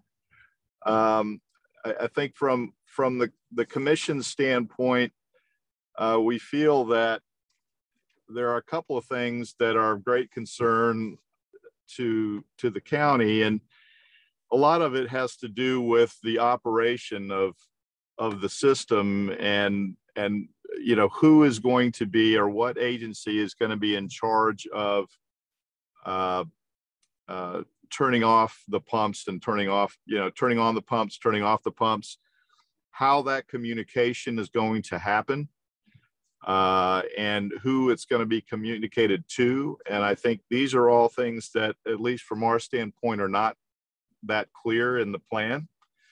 Uh, and that we hope that that we could uh, uh, get more clarity on.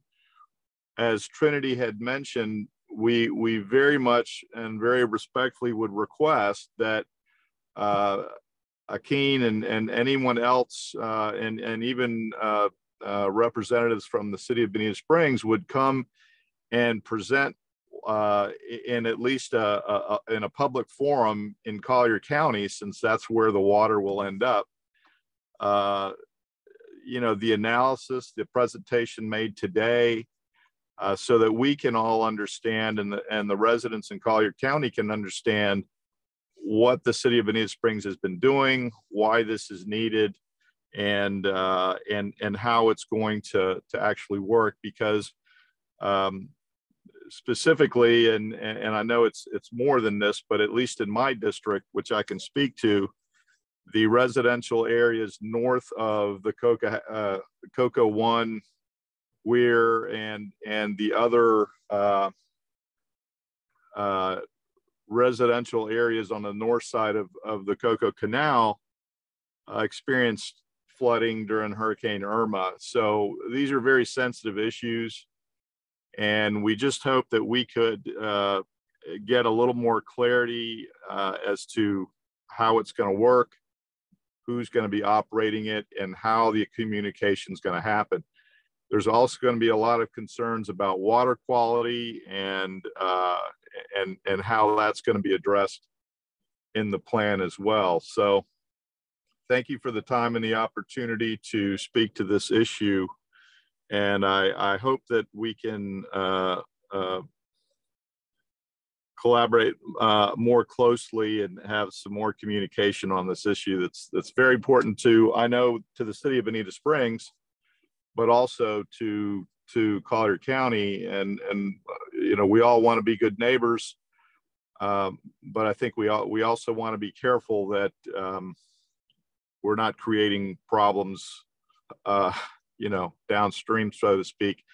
I, I do feel very uh, uh, happy that the way Akin has has created the parameters and how that's defined is is certainly more clear now to me, uh, but I'm not an engineer. So uh, I, I, understand how that works a little better, and I and I hope that that we could get more of an explanation of that uh, in a public forum to the county commission. Thank you.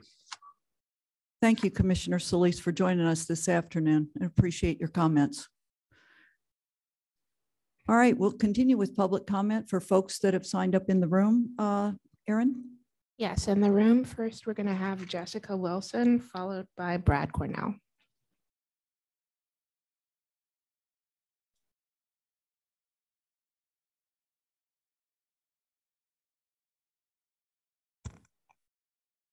Hi, uh, Jessica Wilson with the Conservancy of Southwest Florida. Thank you, Chair, and thank you, board members. Um, thank you, Akin, for your presentation. And we also wanted to thank Lisa and district staff for their responsiveness in this. The operational plan and the Bonita Springs 404 permit application with DEP anticipate that flooding in Bonita will be addressed um, at least partially by pumping untreated floodwater into the Cocohatchee system. And this appears to take flooding and flood control out of the realm of an emergency event and makes pumping to the Cocohatchee the standard operating procedure during times of significant flooding. The Conservancy does not believe that this is an appropriate short or long-term sustainable solution to the very real issues that Bonita Springs is facing. Even more concerning is that uh, neither the 404 permit application nor the district's operational plan consider water quality impacts. And um, essentially this untreated floodwater would be pumped directly into conservation easement protected preserves that are part of required mitigation and will ultimately discharge into outstanding Florida waters and uh, tidal ecosystem. The district and Bonita can no longer ignore these issues and, um, you know, essentially sending untreated stormwater um, and floodwater down into the preserve and the Cocohatchee system is, is extremely concerning. Um, we also must not conflate hydrologic restoration with this emergency pumping. And um, I'd like to just remind that, you know, ecological restoration of regional flowways um, is not necessarily pumping untreated floodwater south. Um, we're also concerned that the permit, the 4-4 permit application and the district's operational plan are two parallel processes. Um, Coordination with all impacted parties is crucial to evaluating um, and ultimately expediting a, a, permanent solution to this issue. And it's also essential before anything moves forward. Uh, we understand that through this MOA between Bonita Springs and the district, there are uh, quarterly meetings with stakeholders, and we would like to ask that the next quarterly meeting serve as a forum for Bonita Springs to provide this much needed additional information to the impacted parties, including adjacent landowners, conservation easement holders, and the public. And in the interim, uh, we definitely agree with the concerns raised by Collier County. There's an immediate need for this open discussion. Um, and we support the county's request to have the district and Bonita present at upcoming commission meetings in May. And um, included in that presentation should be responses to county staff questions that were brought up. Um, finally, Bonita and the district must take a hard look at permitting future development projects in the city. Um, that would put additional stress on the floodplain, the Imperial River system, and also the city's stormwater management system. Thanks. Thank you. Mr. Cornell, followed by Peter Hill. Good afternoon, Madam Chair and board members. Again, Brad Cornell on behalf of Audubon.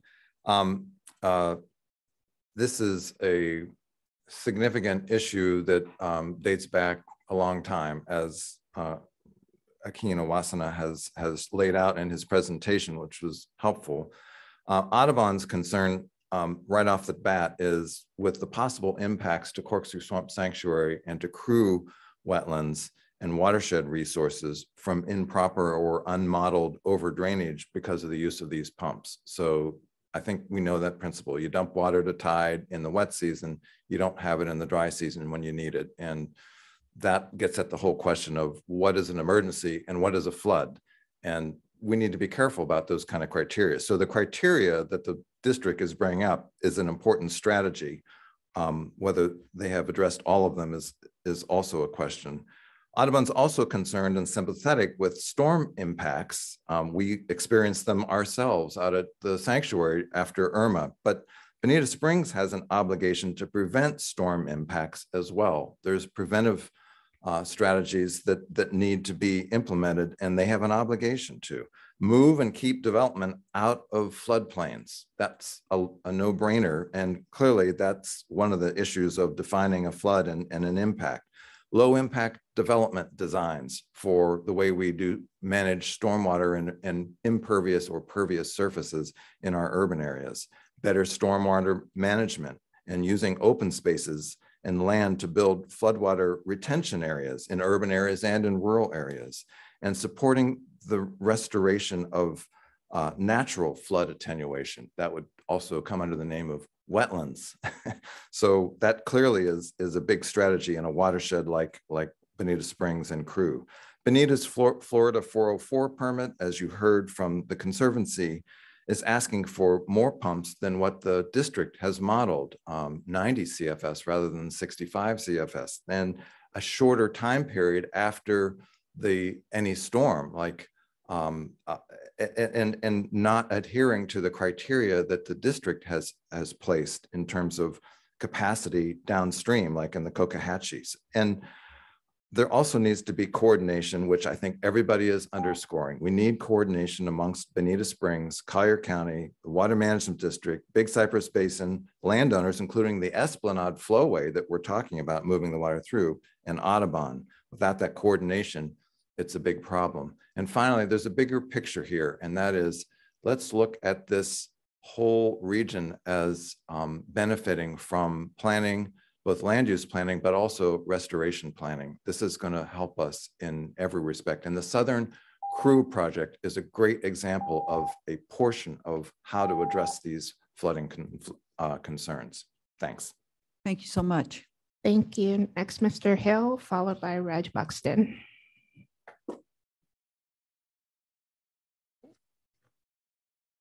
My iPad to death. Uh, good afternoon, Madam Chair, uh, board members, and members of the public. Uh, thanks, Akeem. Um, you'll be pleased to know that I'm not going to talk politics. I'm just going to talk about facts and clarification. I represent the HOA of Colliers Reserve. I'm the president of the HOA, but I also represent uh, an informal group of all downstream residents of beyond Coco Number One and the Cocohatchee River itself. It's very dear to me. It matters. And the Cocohatchee River is going to play a huge part in the stormwater management systems of the future. It is the only outlet to the Gulf from northern Collier County, and it's hugely important. And the one thing we don't know about it, we don't know enough of its capacity. How much water can this thing take? We've seen a desilting or a, a silting up in this last three to five years post post Irma uh, markedly. And in my estimation, it's somewhere between 20 and 30% of silting that has occurred. You can't even get a boat beyond the 41 in high in, in low tide. Uh, it's only at high tide. And even then it's only six inches to a foot deep. So there's been a huge amount of sorting up here and we need to know the capacity. The modeling work has been done, I know. Uh, what we need to do is see what is the light of the day, uh, when can we see this, uh, and when can we make comment on it, and how can we model it in a better uh, in a better way. It is at the moment uh, locked in in terms of, uh, of, of dredging of the river itself. It's locked inside the the Corps of Engineers and awaiting their approval. It's already been budgeted, I understand, within Collier County. we need desperately to see this. So we need to see the impact of the stormwater management system on the Cocohatchee River. And that to me is fundamental before you start any of this planning upstream, hugely important issues, uh, and we need to, to, to, take a very holistic approach here. So we as the residents are hugely impacted. It's us that flooded. And uh, what we need to do, this was flooding by man. This wasn't hurricanes, this wasn't storm surge. This was stormwater management. So we owe it to ourselves to, to, uh, to, to take this forward in a, in, a, in a coherent way. Thank you. Thank you so much, sir. Mr. Buxton, followed by Meredith Budd. Very good presentation. Thank you for that. Uh, I'm just a plain old ordinary resident that lives in North Collier County. And uh, I can remember in 18, uh, 2018 when uh, there was talk about this between Collier and Bonita, and then Bonita seemed to walk away from it. Uh, now they're back. They're back with a vengeance. And uh, I think we kind of got blindsided by this thing. Appreciate everybody's concern about it. I appreciate what you've done. But I don't think it should happen overnight. Again, we got pumps that are more than what we need. Uh, Bonita gets rid of their problem and then North Collier gets it. No, I don't want Bonita to have a problem, but I don't want Bonita's problem in Collier County. Thank you. Thank you. Ms. Budd, and then we're moving online to Zoom. Thank you so much, Meredith Budd, here on behalf of the Florida Wildlife Federation. Appreciate the opportunity to speak today. Um, and Akin, thank you so much for that presentation. Um, it was very helpful and uh, appreciated to see uh, that the the comment period uh, to for the county to bring in comments regarding the operational plan um, will be considered before the draft is finalized for for the plan itself. Um, I don't want to be duplicative and repetitive. My colleagues uh, at the Conservancy of Southwest Florida and Audubon Western Everglades have articulated many of the concerns that the Florida Wildlife Federation has.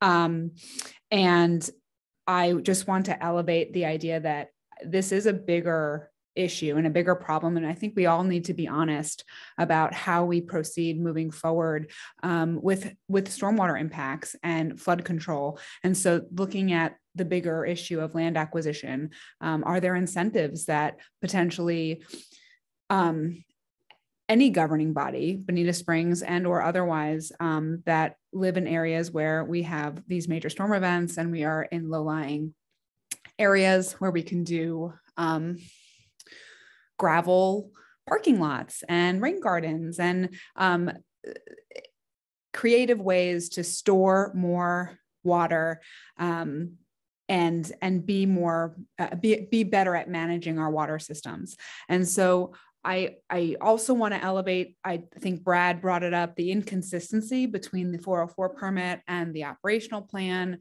Um, there are differing size pumps uh, in both of those. So there are a lot of still outstanding concerns and questions that I think need to be addressed. So I appreciate the opportunity um, that, that, the Collier County Commission has presented to have joint meetings, bringing in Bonita Springs, the commission, all stakeholders, conservation easement holders. As I think Brad mentioned, the uh, Esplanade, the homeowners and the areas that are going to be impacted and then the other point I want to bring up is that the emergency pumps would be presumably used in an emergency situation. And when you have an emergency situation and a declared state of an emergency, while you have parameters set forth in the operational plan, which are uh, very well thought out and they help to prevent any sort of um, overcapacity of the system, those permit um, the permit requirements as per the plan are not necessarily enforced during an oper- during an emergency during a state of emergency. And so that's something to be considered when you're looking at operating pumps in a state of emergency. So i think commissioner solis mentioned it in who is going to be operating these pumps. And so as we continue to look move forward have the dialogue bring in all the stakeholders and look at moving forward with operation of some sort of pumping uh, perhaps the district can take a strong role in maintaining authority over those pumps to ensure um, equity in, in the operations. Thank you so much. Thank you. All right, and now we're moving online into Zoom and we have Lisa Interlandi. And if you're connected by phone, you might need to hit star six to unmute yourself. Hey, it's Lisa Interlandi. Can you hear me? Yes, I can hear you just fine. Okay, very good. Thank you so much. Lisa Interlandi, I'm the executive director of the Everglades Law Center and senior attorney. Um, I just, I wanted to, I was trying to get my, set, my senses around how much water we were talking about here. And I saw 65 CSF, maybe, maybe 40, 40 CFS. But, you know, I, I looked, I happened to look today at the Loxahatchee River, which is flowing at 41 CFS. Um, that's a lot of water. I mean, are we putting, is this going to possibly put a river's worth of water through wetlands? It's it's not a small quantity of water. I realize it's not as much as many of the district's pumps and systems, but but this is a relatively large quality uh, amount of water. So, the other concern that we had um, was related to water quality. We haven't really seen a lot of impacts analysis of the impacts on water quality. Um, it's kind of been so, somewhat conclusory. You know, I've I've read the the what was submitted as part of the 404 permit application, and we really just didn't see any analysis beyond just a conclusory statement that there would be no impact. But we know that putting stormwater into wetland systems can have an impact on water quality. So we think that that needs a lot more analysis and to help people better understand whether or not this is actually something that's going to have an environmental effect or not.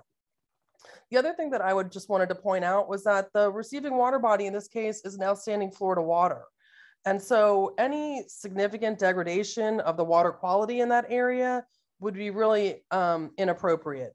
So I think that a much closer look on the impacts of um, rerouting stormwater through the system into an OFW, what impact that that might have.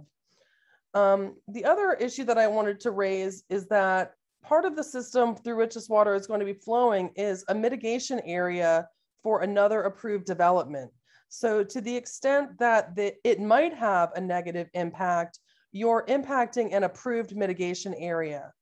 The other part of it is that part of this area is also covered by conservation easements that require have certain requirements um, as to how how this part how the parcels must be operated and maintained. So these are other issues that we feel like need to be looked at before um, this goes forward. And then I also, you know, I also did want to reiterate that the difference between what is being proposed as part of the 404 permit with 90 CFS versus what was modeled and analyzed by the district. Um, that's a pretty significant difference. And that's, um, I think, something else that needs to be taken into account as, as this move moves forward. So, you know, I was I was happy to see the hydrologic analysis that Akin did. Um, you know, from a hydrologic standpoint, it seems like the parameters that the district is, you know, could put in might make this a feasible, um, feasible from a water management perspective. But yet I feel like from an environmental standpoint, those questions have not been answered. The water quality questions, the impacts to uh, mitigation areas, um, you know, the, the impacts to wetland systems, and certainly the impacts to downstream users and OF outstanding Florida waters. So um, I hope that you all will continue to consider this and that the proponents of this project will work with the other stakeholders to get those questions addressed. Um, appreciate the opportunity to comment and we um, will continue to monitor as it goes forward. So thank you so much. Thank you. Appreciate you being here this afternoon. Thanks so much. Thank you. And that concludes our public comment. Okay, with that, uh, we'll open it up for uh, board comment. Any board members have any questions or, or comments? uh, Madam Chair, it's Andy. Um, well, you got a lot of issues there. Um, we live uh, somewhat downstream from Cocohatchee. on Vanderbilt Bay, so we uh, we are impacted um, to some extent. Um, my, my feelings are a number of things that come to mind. First, it seems like this is an issue of longer term planning um, of, of what happens in, in storm situations. Maybe that should be considered in greater detail in the planning process of the various uh, developments. Second, I do remember uh, uh, seeing some of the homes that were flooded out after the last hurricane. Uh, and I and I feel for those people because their homes are basically wrecked in a lot of the areas adjacent to Bonita Beach Road.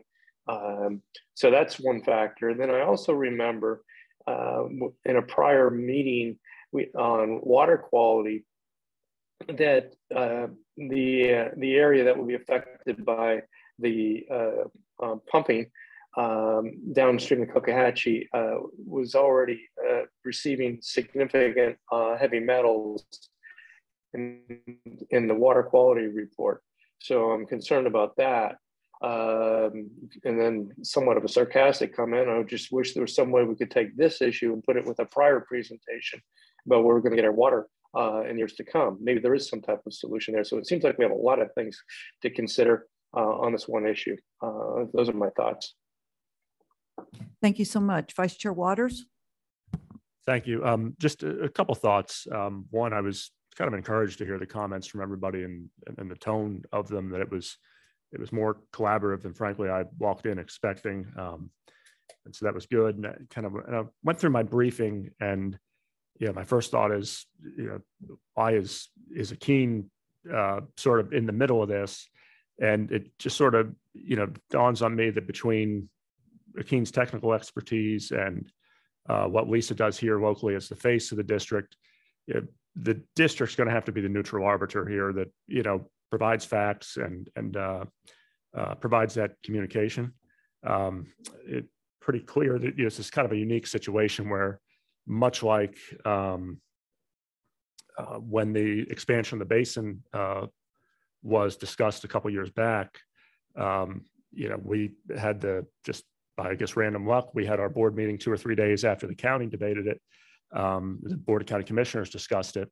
Um, and this is very similar. And so to watch the board meeting on um, uh, Tuesday, that part where this was discussed, uh, it just seems like there's going to be a need for a lot of fact-based communication, and I think that's going to be our our role. Um, the uh, the other thoughts I had are, you know, we've got an opportunity to build on a couple things that we've invested in the last couple of years.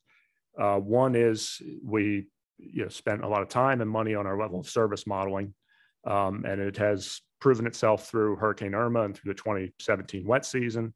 Um, and it has been proven to be accurate um, and something we can rely upon.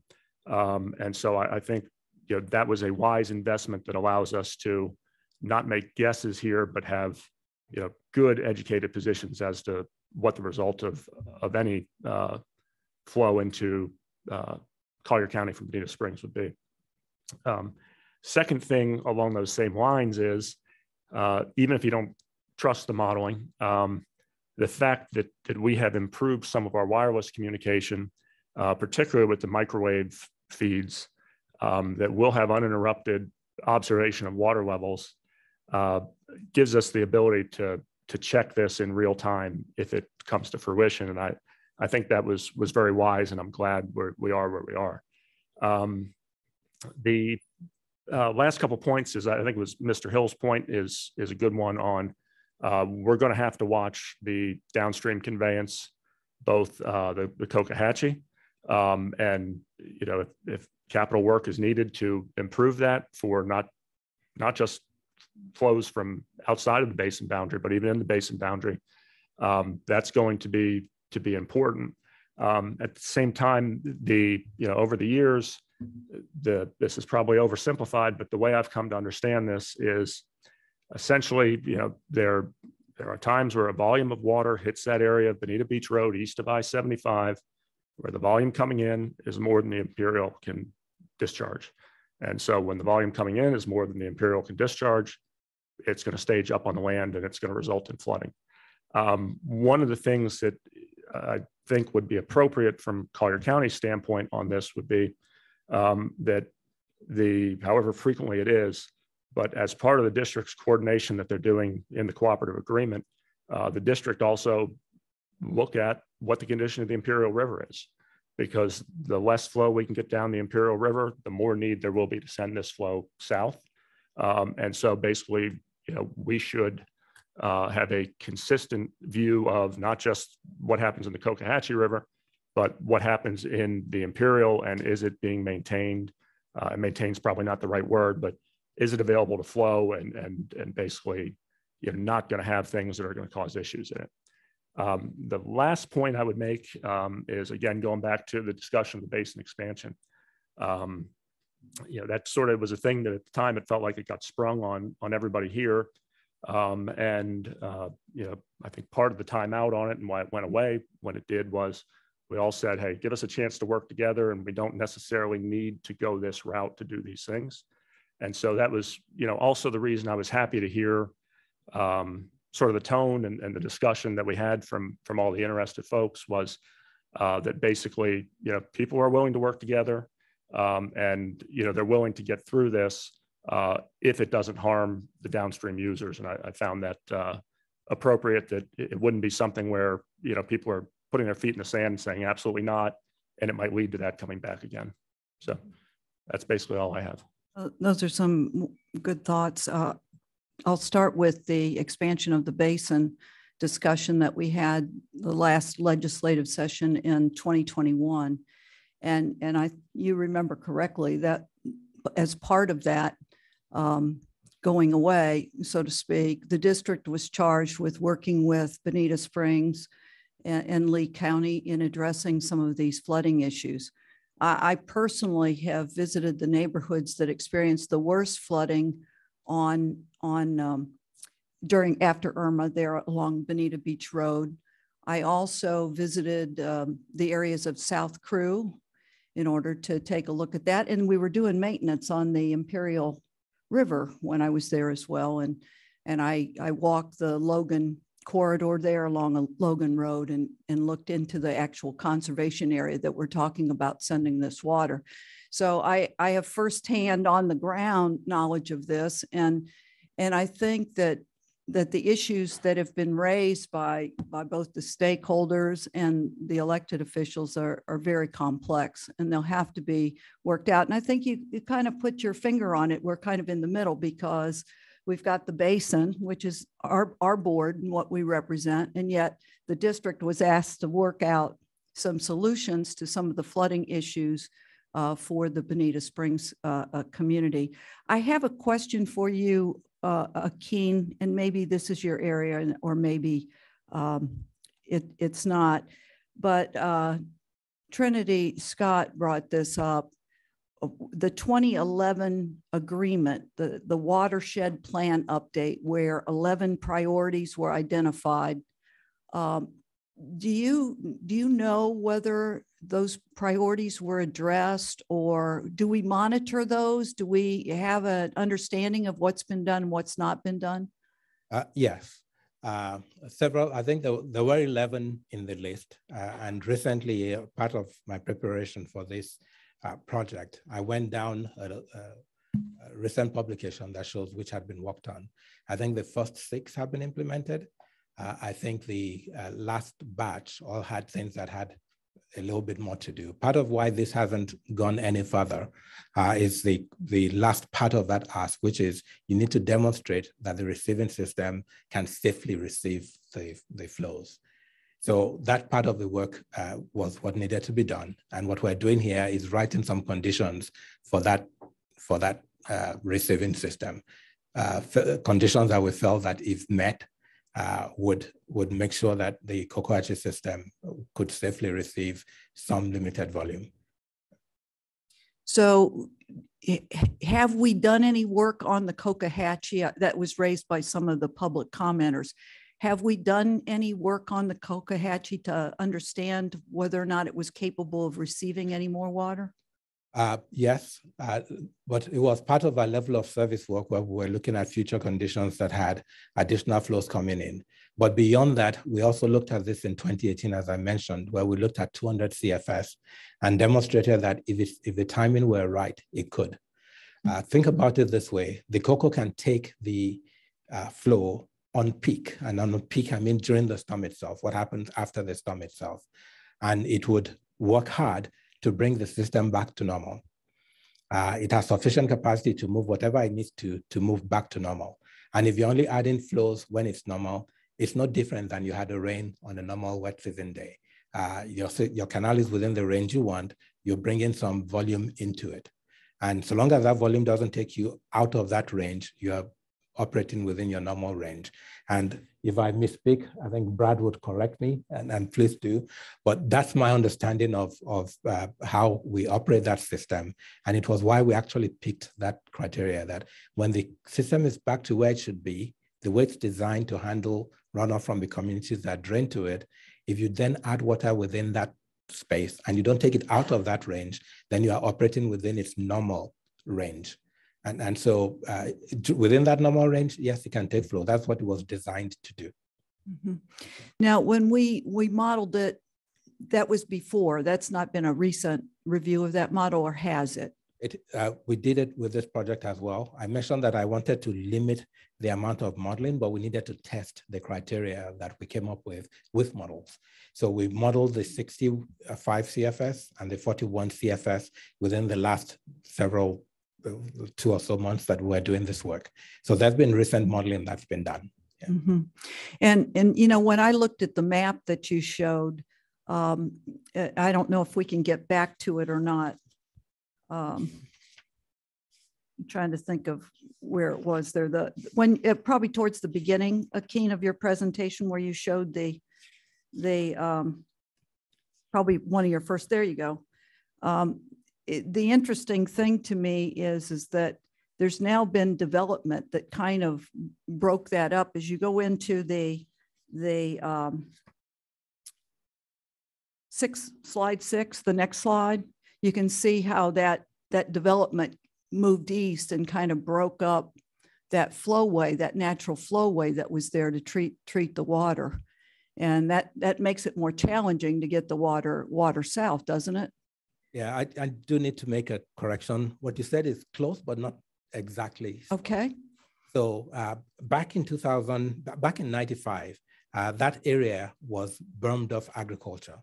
The concept of the flowway was a, was a proposal of the study then that was never implemented. Uh, we, the, I think parts of it were built, but it was never operated. Okay. Uh, the berms are still there. It's just that instead of being a farm now, uh, it is now development.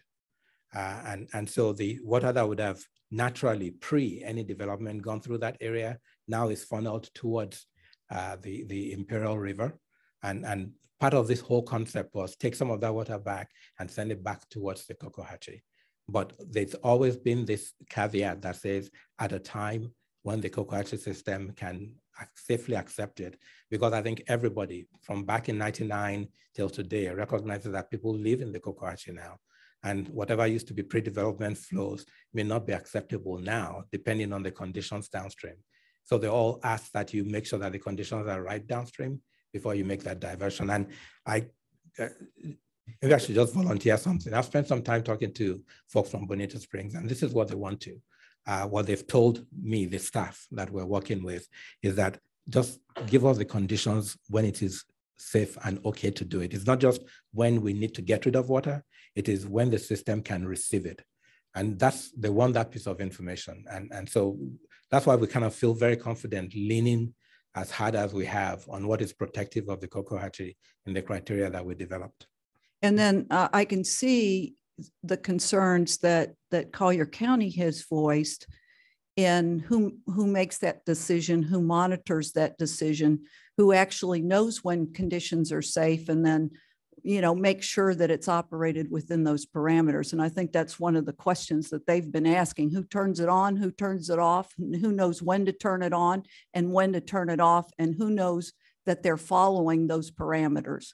And, and I, I think that's a, that's a big, uh, important piece of this um, that uh, needs to be, you know, put somewhere in that operational plan as we work work through it with all of the parties concerned. Um, the uh, other question that I had, I think I had had the other other, um, how, how were the natural systems taken into account around this area? Did, did you do any uh, analysis of, of the natural systems and the impacts with receiving this water? I mean, coming through that uh, protected area, that mitigation area? What we looked at was uh, limited to hydrologic response of that okay. system. So we looked at what happened during the entire uh, uh, event, the storm. Mm-hmm. So we saw the system go high and mm-hmm. start to drain. And so similar to the threshold that I showed for Coco Canal, there's a stage, and I think it's 14.75 uh, NGVD within a particular, uh, there's a new gauge that's been installed in the marsh just to the northwest of uh, Esplanade. Uh, we have a gauge there where the elevation has to drop to about 14.75 or lower before they can initiate uh, diversion. But usually what happens is that you reach that before you get back to normal conditions in Coco, which is why I showed Coco three. But there are conditions in the marsh that we represent by that one location that shows that the marsh has recovered hydrologically, that the water level has receded. Okay, thank you. Uh, Commissioner Solis, is he on the line, uh, Aaron? He, he has asked to, to comment again, and I don't, I don't have any problem with that. Is he, is he there? Commissioner Solis, are you there on the line? He's logged in, but I don't see his hand raised yet. I can watch for it. Hey, Aaron, just prompt him again on how to unmute himself. It's star six. I think he's. Um, I'm here. Okay, go ahead, Commissioner Solis. You're recognized. Thank you, and again, uh, thank you for for letting me uh, speak again. And, and I, I, left out one important thing that I did want to say, and and uh, in, in, what the comments you were uh, making, uh, Madam Chair, I, I think it relates to that, and that is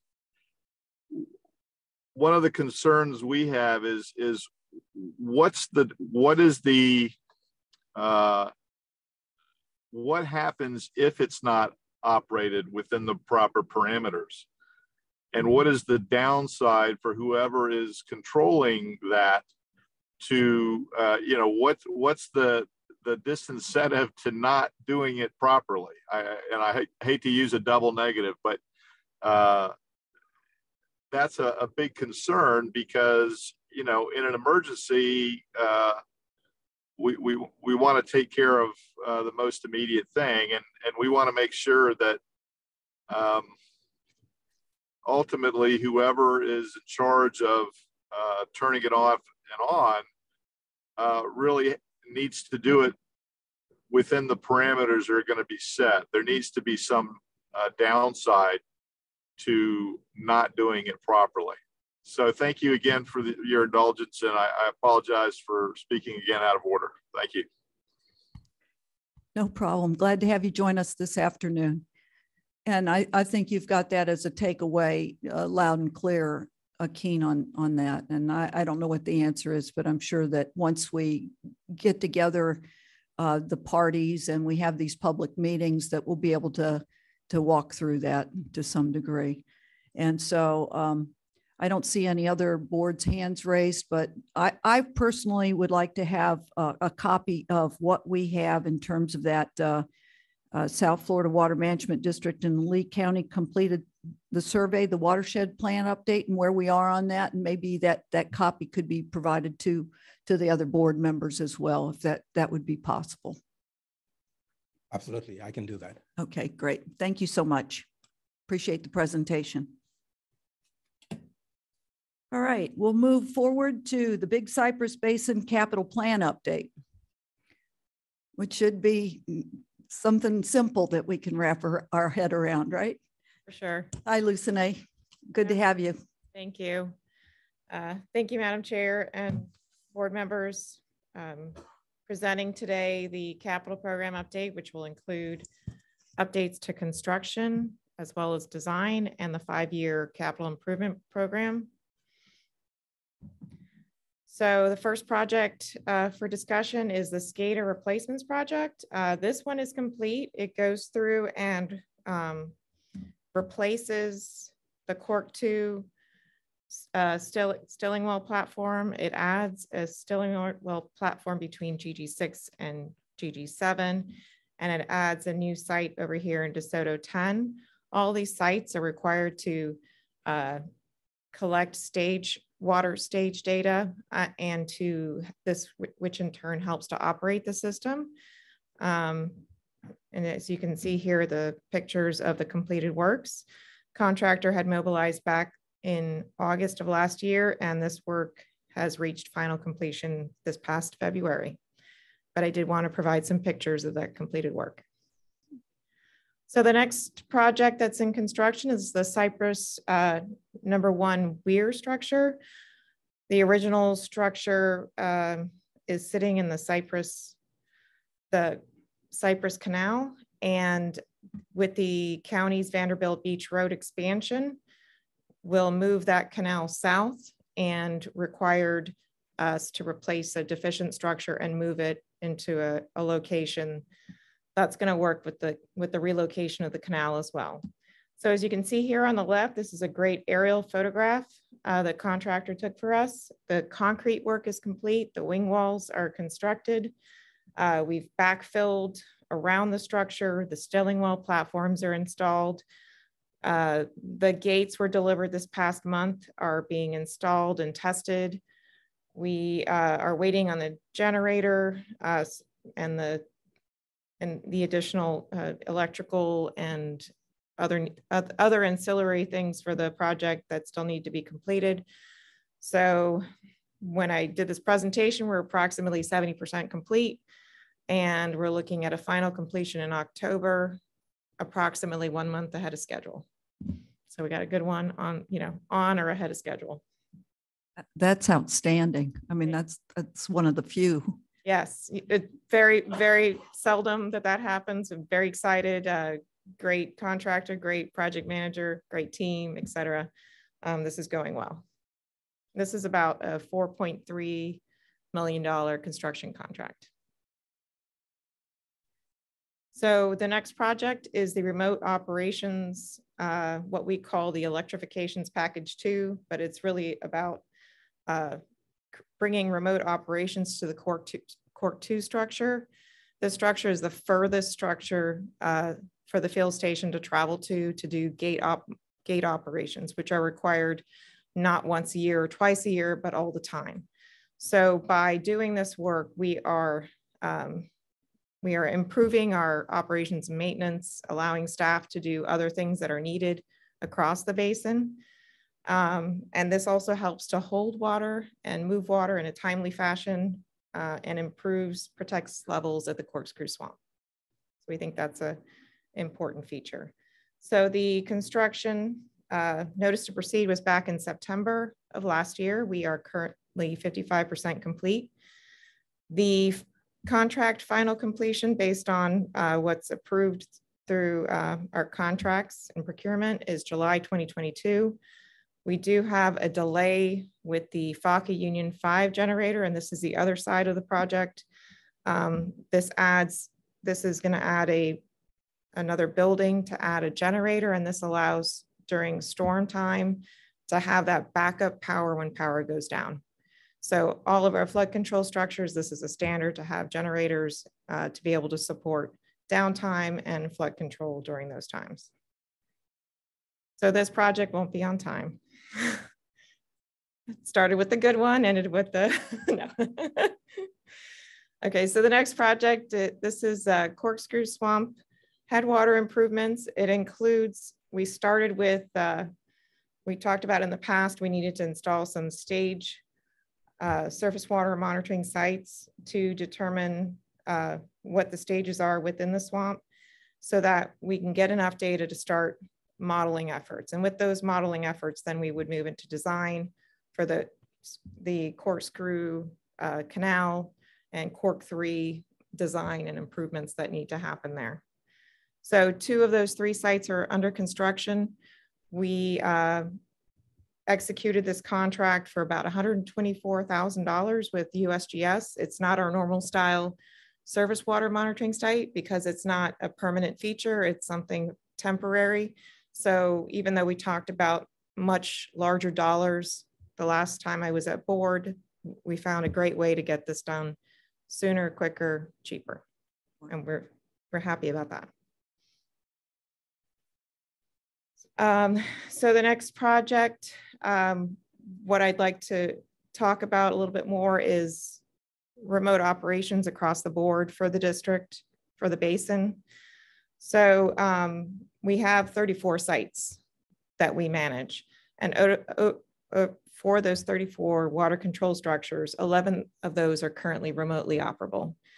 Um, the more we can bring online and be able to push a button and have a 10 minute gate change versus a six to eight hour gate change or, you know, depending on location and how long that takes uh, is important to managing the system for flood control as well as water supply and trying not to dry out the system in the dry season.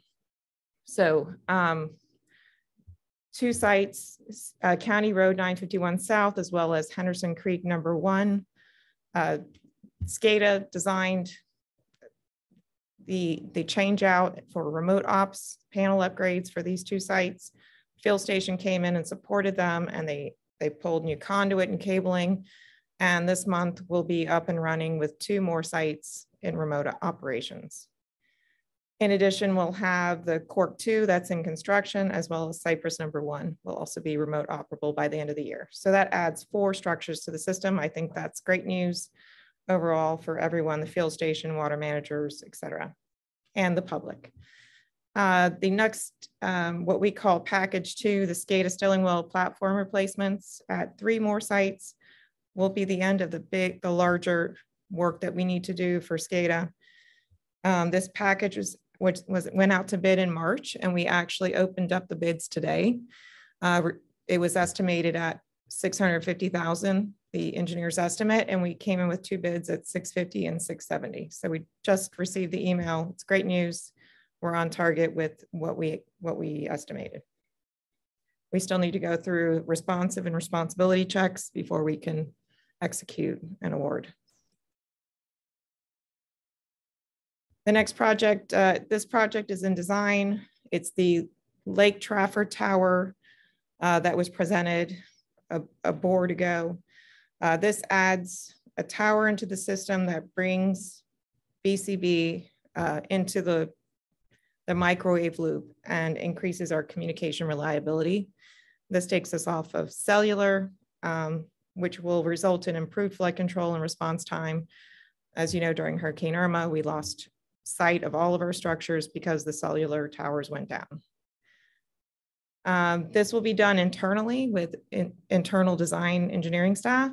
Uh, so this will be helpful in moving forward and quickly and trying to meet our deadlines on this project. Um, we've been working on the microwave path analysis, uh, geotech survey, as well as wildlife assessments. And we are estimating a preliminary design submittal in November of this year. And hopefully governing board uh, September of 2023, the following year. So um, we have two new starts in fiscal year 2023, and that includes the I-75 Canal Weir number two replacement. This is an older structure. Um, as you can see in this picture, if, if it's not too difficult to see, um, this is more of a weir structure, doesn't allow for operational changes. Um, so a new structure is going to be remotely operable it's going to reduce our operation response time for any changes that we need to do, uh, improve dry season groundwater recharge, as well as uh, reduce dry season discharges to Naples Bay. And we have budgeted approximately 300 to 350 to start design. The other new start for fiscal year 2023 is the Upper Faka Union replacement. Uh, this would start with modeling to support this, this canal, and it takes three older structures. If you can see how old these weirs are with these V-notch, uh, V-notches in here. And most of the time they don't come out, they're stuck. And so it's not really, they're not really operable structures. And then over here on the left, you can see Faka Union 5, which we are trying to improve with the generator building uh, has 12 gates with vegetation stuck in the gates. So the plan is to remove Faka Union 6, uh, replace Faka Union 7 with an operable structure, and then reduce the 12 smaller gates in Faka Union 5 with six larger ones. And we've currently budgeted about approximately 500,000 to start that modeling and design in 23. And so with that, we move on to our five-year capital program plan update and our uh, fiscal year 2022-23 proposed tentative change from preliminary. Um, I'd like to say that back in 2014, the basin has always had a capital plan, but back in 2014, we formalized it. We we went out, we inspected all the structures, we gave them a risk score, we ranked them, and we created a capital plan.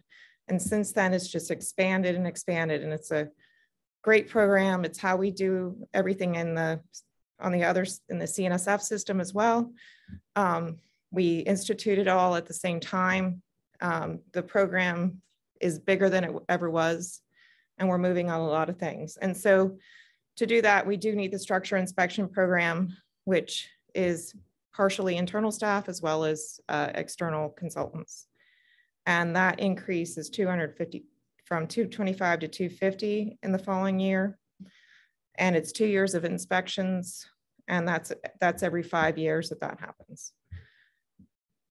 In addition, uh, increase the SCADA additions and replacements to help offset pack this package two that's come in. Um, to, we're going to multi-year fund it in with 22 funds and then 23 funds. The remote monitoring and communications includes the Lake Trafford Tower. So these costs include construction for Lake Trafford Tower in 23 and 24. And we've moved the operations control center for the Collier County out to 25. For canal improvements, we're looking to start design on Cypress. Um, this is uh, some Cypress improvements. So this will start some design and then some construction. And then out years include improvements to Faka Union, as well as I-75 Green Canal and the C1 Connector Canal.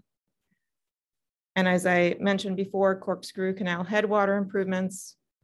This starts design after the modeling is done. So we'll have 23 up to 23 to finish the modeling, 24 for design, and then out years for construction in 26 and 27 and so on and so forth. What you what is new on here is the Henderson Creek replacement. Even though we uh, the portion of the structure that is operable, we went from local control to remote ops. That's that's going to help us out in the next few years. But with the level of service and the sea level rise analysis, we determined that the structure is going to need replacement and the gates need to be at a higher elevation to help with sea level rise. So it is a coastal structure and it will be impacted and we've already made that determination. So we're looking to start design in an out year of starting 2025. And with that, I just want to give you an update on where your multi-year budget is. So currently what we have moving, we have a consumable budget of 8.5 million. We've expended four and a half of that.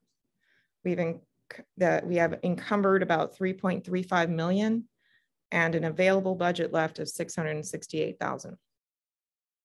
So we're doing pretty good. Usually I give you a current year number, but this is just how I see it on a daily basis and, you know, multi-year, everything that's been encumbered and what's moving. Great. Thank you for the excellent update. I can't say, emphasize more how important these SCADA upgrades are as we go into wet, wet season. You know, that saves um, the field station guys from having to dispatch somebody to go way out to one of the canal gates and physically move it up or down. And um, it, it just saves so much. It makes us so much more efficient. Plus, we can do more things in a shorter period of time. So that's been an investment by the board that's really, really paid off dividends. And, and thank you for all the management of all of these projects and and keep us keeping us on track to get to where we want to go. Really, really appreciate it. Do any of the board members have any any questions? I don't see any. Just want to be sure. Is there any public comment, Aaron? On the, go ahead, Andy. Oh no, I, I have no comment. Excellent presentation. Thank you. Aaron, any public comment? I have no public comment, Madam Chair. Thank you for the update, Lucinay. Really appreciate it. Okay, the next item is the Lake Trafford project update, the phytoplankton monitoring project by Florida Gulf Coast University. And we've got Sean Meyer uh, from the Basin staff and also Dr. Barry Rosen from Florida Gulf Coast University. And it's great to have um, Dr. Rosen here today with us. Sean, do you want to kick it off? Yep. Good afternoon, Madam Chair, board members. Um, pleasure to see you again. Um, so gonna do a little brief introduction of the phytoplankton monitoring project that was carried out by Dr. Barry Rosen. Um, the Lake Trafford Management Plan was completed by the team, the management team in 2018. Once this was completed, the Big Cypress Basin Board at the time directed staff to allocate funding for four years to assist with restoration efforts on the lake, which remains impaired for nutrients.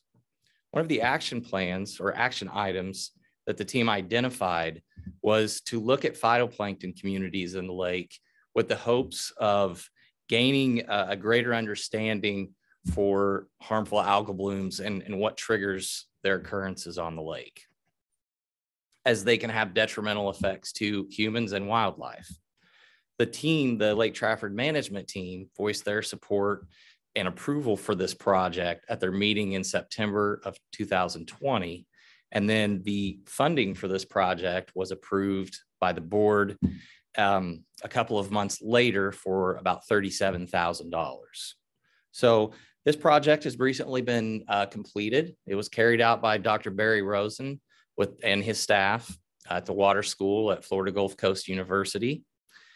And um, Dr. Rosen is here today to give you an overview on the project and discuss his findings.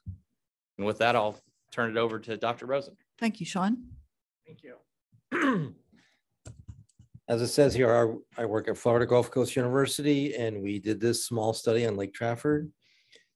And again, it was part of that monitoring plan that Sean just talked about.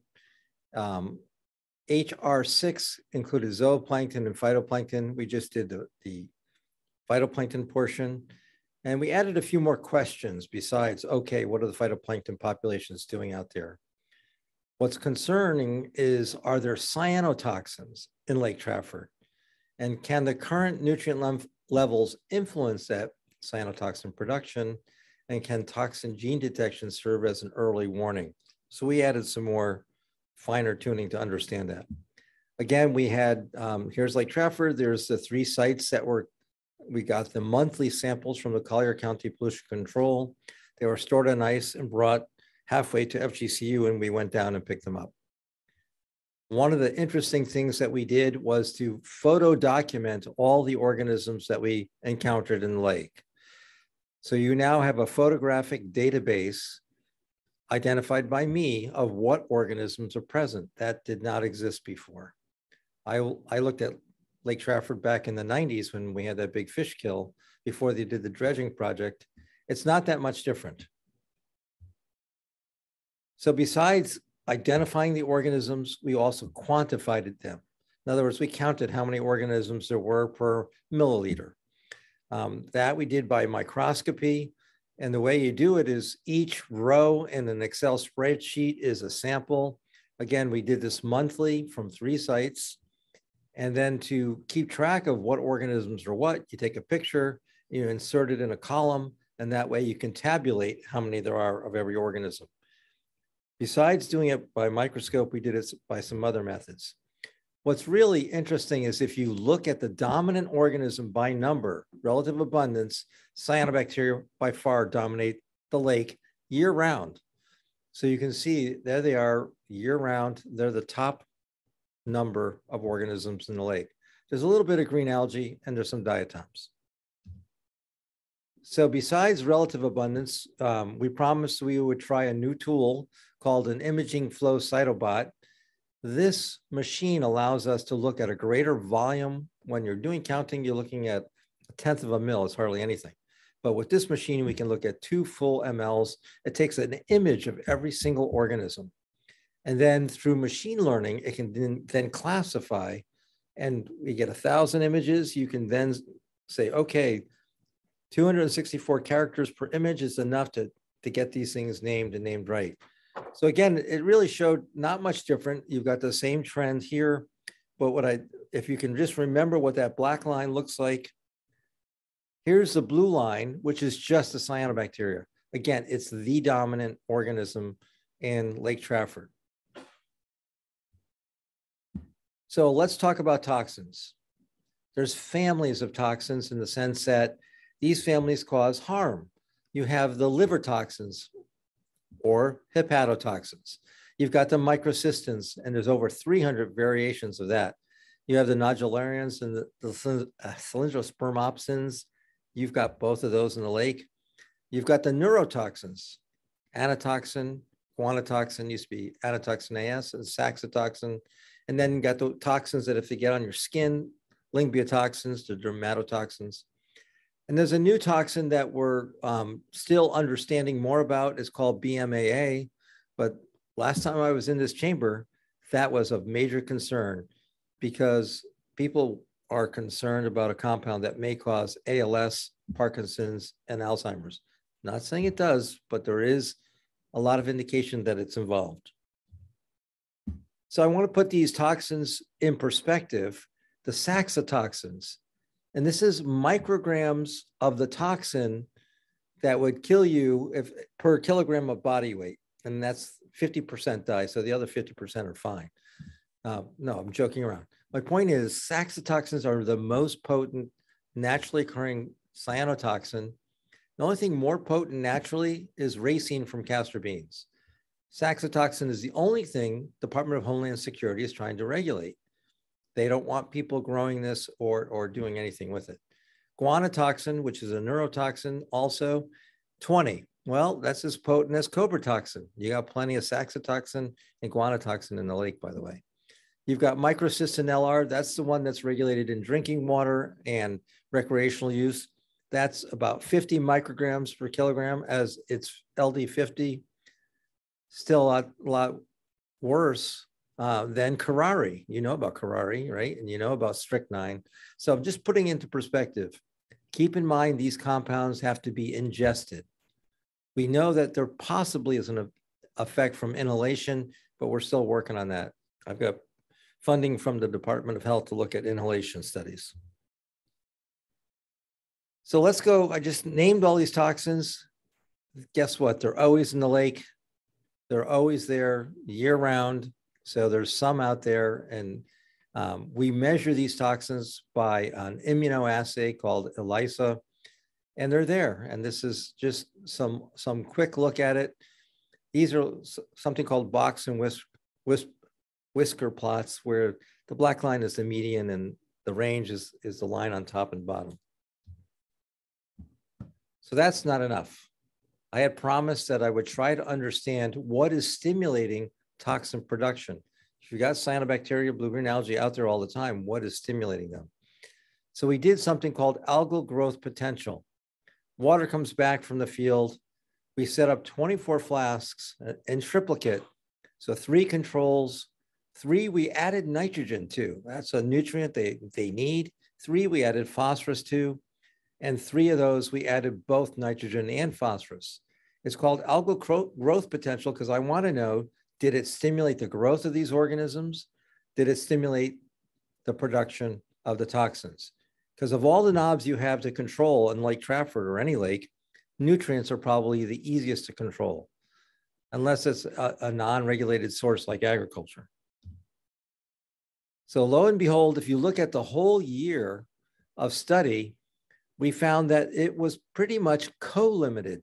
Both nitrogen and phosphorus were important and they both needed to be added. Again, this was the whole year, but I'm going to break it down a little finer. I want to show you what happened a little bit more on the seasonal level because it flips a little bit. So nitrogen is definitely limiting most of the time, but so is phosphorus. And the distinction between the two gets a little gray, but you need both those nutrients, and they're called macronutrients. So you need nitrogen and phosphorus.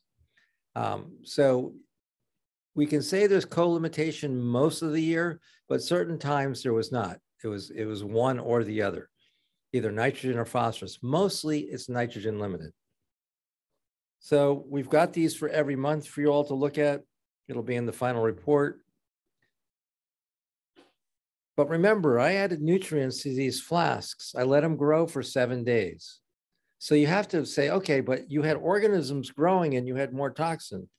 So one of my grad students came up with a clever idea is that if the organisms, um, the number of organisms kept up with the amount of nutrient you're added, you would have the flat line, the one-to-one relationship. But if your numbers showed more cyanotoxin per number of organisms, you stimulated toxin production. And sure enough, if we look at microcystins, that's the one compound that we care most about. It's the most common. We stimulated with the nitrogen treatment way above expected. You go, well, why did that happen? Well, it's simple. Nitrogen is a critical component of the microcystin molecule. So you added the nitrogen and you get more microcystin production above and beyond what we expected those cells to have in them. Phosphorus, it didn't do it. And NNP alone uh, together didn't do it. So there's something about adding that nitrogen to the water stimulates the production of microcystin, the compound. And there's a lot of the organism, microcystis, don't be confused. That's the organism that is likely making that compound. To do this, we did both the imaging flow cytobot and the ELISA test. So we were able to combine those two things together to squeeze out an interesting result. So microcystins are one compound. The other is a cylindrospermopsin. It showed the opposite trend. Phosphorus was a critical compound for that toxin to be produced. And again, above expectation. And you can see that the standard error shows just above that line. So we know that it's, it's valid. This is new findings probably for the world, and we will publish this because it's, it's a really clean, interesting experiment. Saxitoxin, yeah, it didn't really matter, nitrogen or phosphorus, but the combination really didn't do much. So we have those data for all of them. And, and lastly, for anatoxin, again, it didn't seem to cause a particular effect. So the real story is with the microcystin and nitrogen and phosphorus with the cylindrospermopsin. Say that fast. All right, the last thing that we said we would do is figure out, is there a way to look for toxins before there's enough in the water to test it? In other words, if I have to have 100 grams in the water, can I see it sooner? And we can do that with genes. Nowadays, we can detect things much quicker with genes. So basically, you have to take the DNA, you extract it from a sample, but then you amplify it 100, 200, 500, a million times and see if the genes are there for the potential to make the toxin. And we showed you a part of a simple table down here, and we see yes, yes, no, no. We can tell when the toxin genes are present. Which again, if you had some way of controlling the blooms in the lake, that would be very useful. Oh, we don't have any. It's it's November or December. We don't have to do anything. And you do that by using this specialized machine that's the PCR machine you've all heard about, PCR from COVID days, right? Mm -hmm. All right, so in conclusion, cyanobacteria are dominant all the time. In Lake Trafford, February and June seem to have a couple of peaks. Cyanotoxin, the cyanotoxin microcystin follows that same pattern. When the organisms are peaking, the cyanobacteria are peaking, so does microcystin. And four major types of cyanotoxin are in all those four ones, those major categories are in the lake genes are able to be amplified and tell us there's a potential to produce toxins. It's not the toxin itself, it's the potential to produce it. Nitrate stimulates microcystin, phosphorus stimulates cylindrospermopsin, and overall, the lake is co-limited by both of those nutrients, nitrogen and phosphorus. And then there's no simple solution to treat the cyanobacteria, just know that. You kill off one species, another one's gonna pop up. It's not a simple thing. And again, cyanotoxins, cyanotoxins really need to be ingested um, directly from the water, which if you're not using it as a drinking water source, it's usually not an issue. And then the aerosols are unknown, and that exposure route would be from recreation. So the bottom line is when you go to Lake Trafford and the lifeguard isn't there, you have to make sure the bacteriologist, the microbiologist, and people like me, I'm a phycologist, that's not psychologists, although I study the psychology of algae, um, are, are, not on duty. All right, thank you. I kept it short because it's late. Dr. Rosen, I, I really, really appreciate you being with us this afternoon and certainly sharing world findings, uh, new things that you've discovered. I mean, that is just tremendously exciting, and I can't thank you enough. I do have a couple of questions for you. Um, you mentioned that cyanobacteria is dominant in the lake, and then you mentioned a term BMAA. What what was that in relationship to? So BMA is is a compound that's kind of new on the scene. It's the one down here on the bottom. Mhm. So BMAA, the full name is N-methylamino L-alanine. It is an amino acid that we don't make. We have 20 that make up all of our proteins. But cyanobacteria and many aquatic organisms have a whole cadre of other amino acids. They're primitive organisms. And BMAA is one of them. And the idea is that it, it can fake out our systems and we may accidentally take it up in the vulnerable and if it happens up in the up in the brain, the idea is that it could get across the blood-brain barrier, misincorporated into the mechanisms that are making proteins in our brain. Mm. And if that happens, you've brought in the wrong amino acid. And it's that sequence of amino acids back to biology 101 that leads to proteins folding the right way. And guess what? ALS, Parkinson's, and Alzheimer's are called uh, they're, they're called folding disease. There's a misfolding they think that is going on. So that's one of the hypotheses. It's not been proven, but that is one of the hypotheses on the mechanism. Since these toxins are found in the lake uh, all the time, basically, some form of these toxins, um, if you're swimming, you could ingest these toxins. Is that correct? That's the recreational exposure that that EPA has guidance on. Now, is there a public health risk in, in relationship to these levels in, in Lake Trafford? Probably not, but we didn't really get a very severe bloom. So Mhm. certain times the bloom is much higher. Now, BMA is not even part of that thinking. There's only two compounds that EPA provides guidelines on, the cylindrospermopsin and the microcystins. And it's much lower for drinking water than it is for, for recreation. Recreation is much, much higher. Now, the last, you mentioned the last time you were before the Basin Board briefing on a bloom, was It it? wasn't the Basin Board, it was the Collier County Commissioners. Okay, okay, They so, just wanted an understanding of, of, of this. okay, all right. I, I was just going to ask you for a little bit of history there. Um, The last time I was at the water school, I was visiting the laboratories with Greg Tolley, Dr. Greg Tolley, and he took this small group, me included, uh, to where you work. And, and he showed us your microscope. And I've got to tell you, I've never seen a microscope so huge in, in my entire life.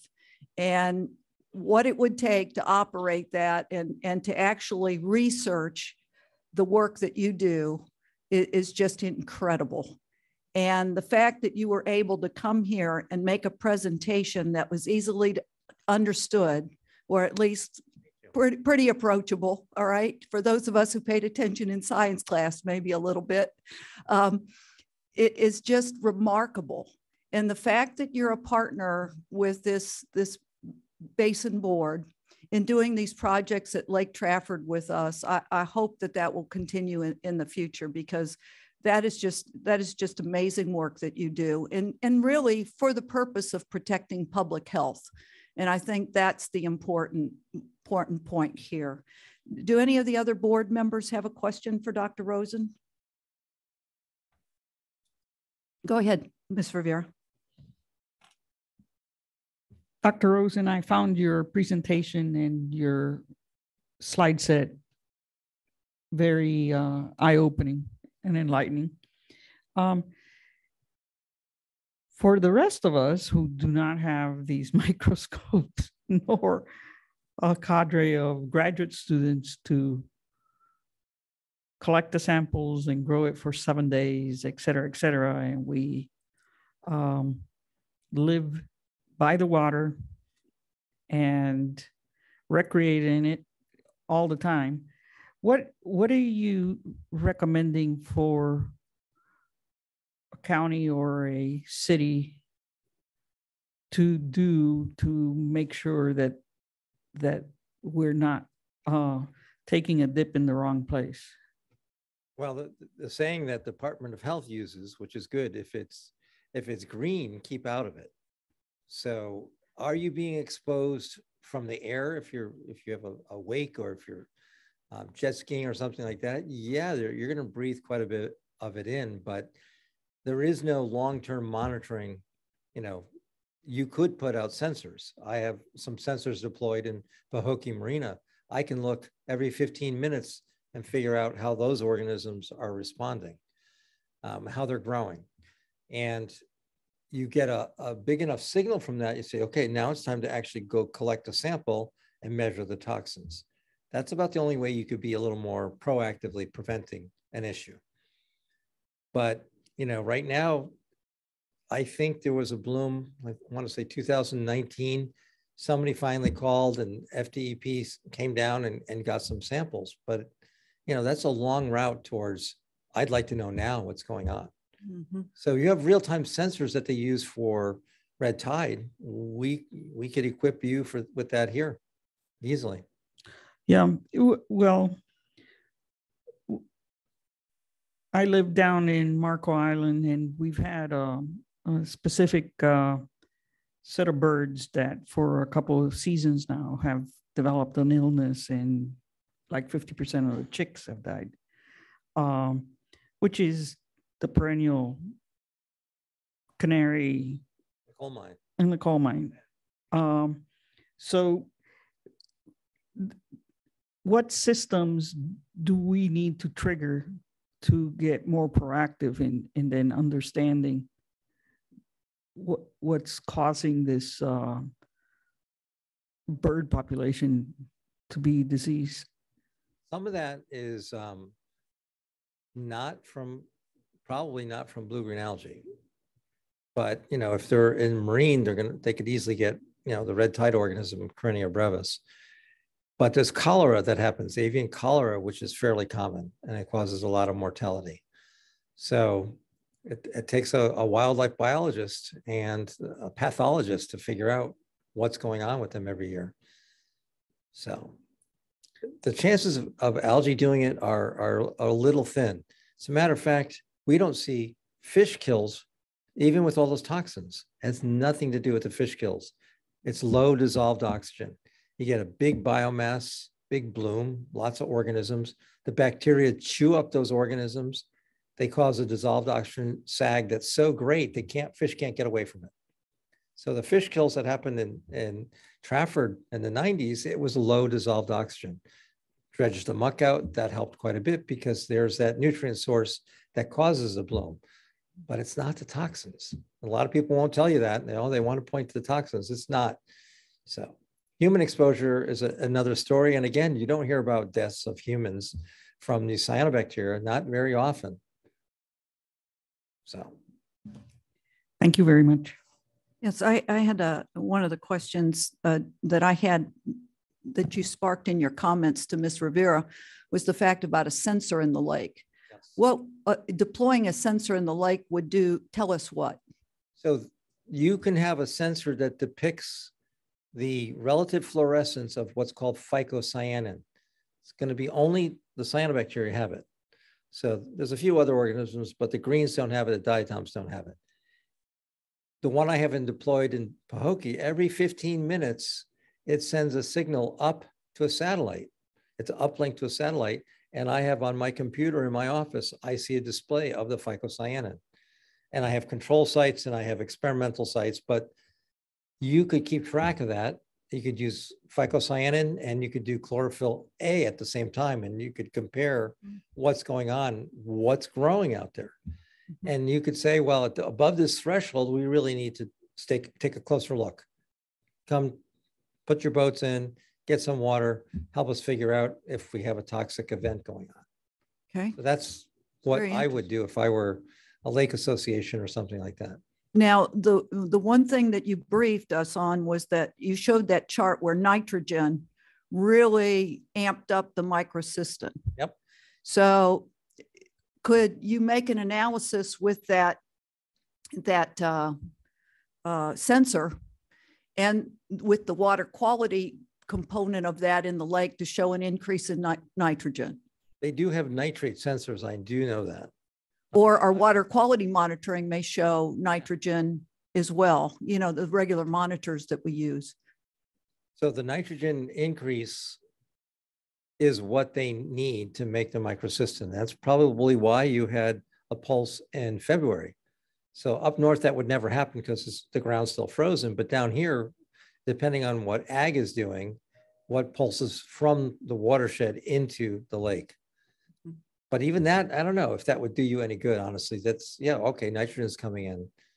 Yeah. Until you see the response of the organisms, because nitrogen might be one of the triggers, but there could be other things. If the wrong organisms are there that can't really take advantage of that nitrogen, and I didn't tell you this, but you have organisms in the lake that actually fix atmospheric nitrogen right out of the air. They don't need to get it from, from the water itself. Um, some of the ones down here, you've got the Cylindrospermopsis in your lake, That's right. the Aphanizomenon in your lake. the only ones that really can't are the Microcystis group. They, they can't fix their own nitrogen. Mm-hmm. But the other ones that seem, this big one here on the left is called Microcystis novacekii. And it's dominant, or at least there most of the year. So is And that the microcystin maker?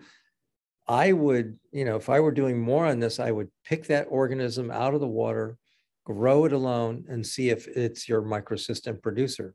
Because that wasn't part of the study, but I do that for people all over the country. Mhm. That's interesting to see what other uh, future projects we might be able to partner on. That's, that's why I was asking those questions. And I know Sean will be talking to you a- about that and with the Lake Trafford Management Team that oversees our plan. So that, that's great to know. I really appreciate you being here today. Yeah, and I didn't even bring my attache, which is weird. And Yeah, that's okay. get two vending bag machine foods because you're past my bedtime. Well, we appreciate the sacrifice and you being here today with us, Dr. Rose. Come on, you must have. No, I'm good. Let's thank move the water around differently. Maybe I, I spark up. Let's move the water differently now. Any other questions? Is there any public comment?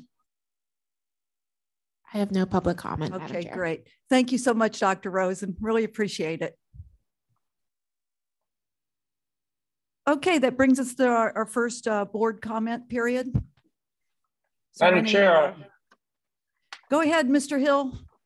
Uh, Madam Chair, I have two things. First, I'm coming to you uh, from uh, Islamorada. My wife and I are celebrating our 25th anniversary this week, so we're taking a, uh, a vacation in Islamorada. So um, I think my uh, connection is only uh, interrupted about twice so far, as I don't think the cellular system has made it to uh, to where we're staying yet.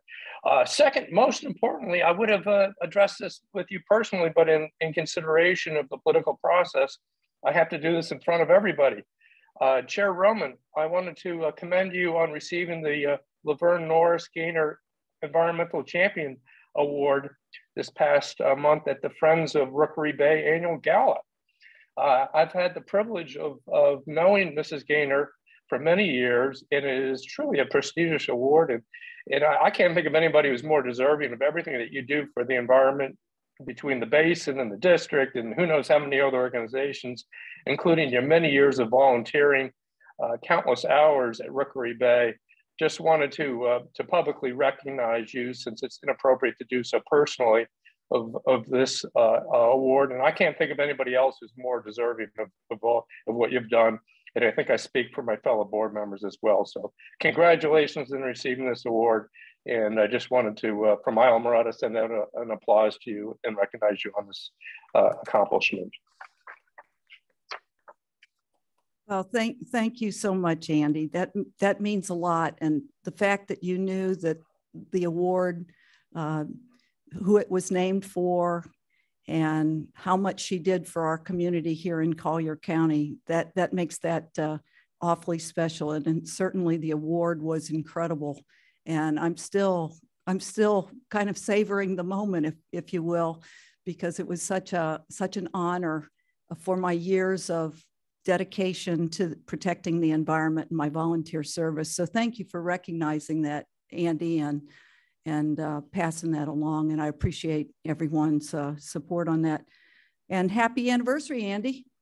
Thank you. Congratulations again, and I look forward to seeing everybody in person next uh, next board meeting.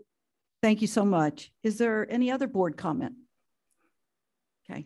All right. Well, thank you so much, Andy. And we're going to move on. Uh, yeah, unless we need a short break, or are we good? Let's take a five minute break. Give uh, Aaron and Rosie and the staff that's here and's got a long drive home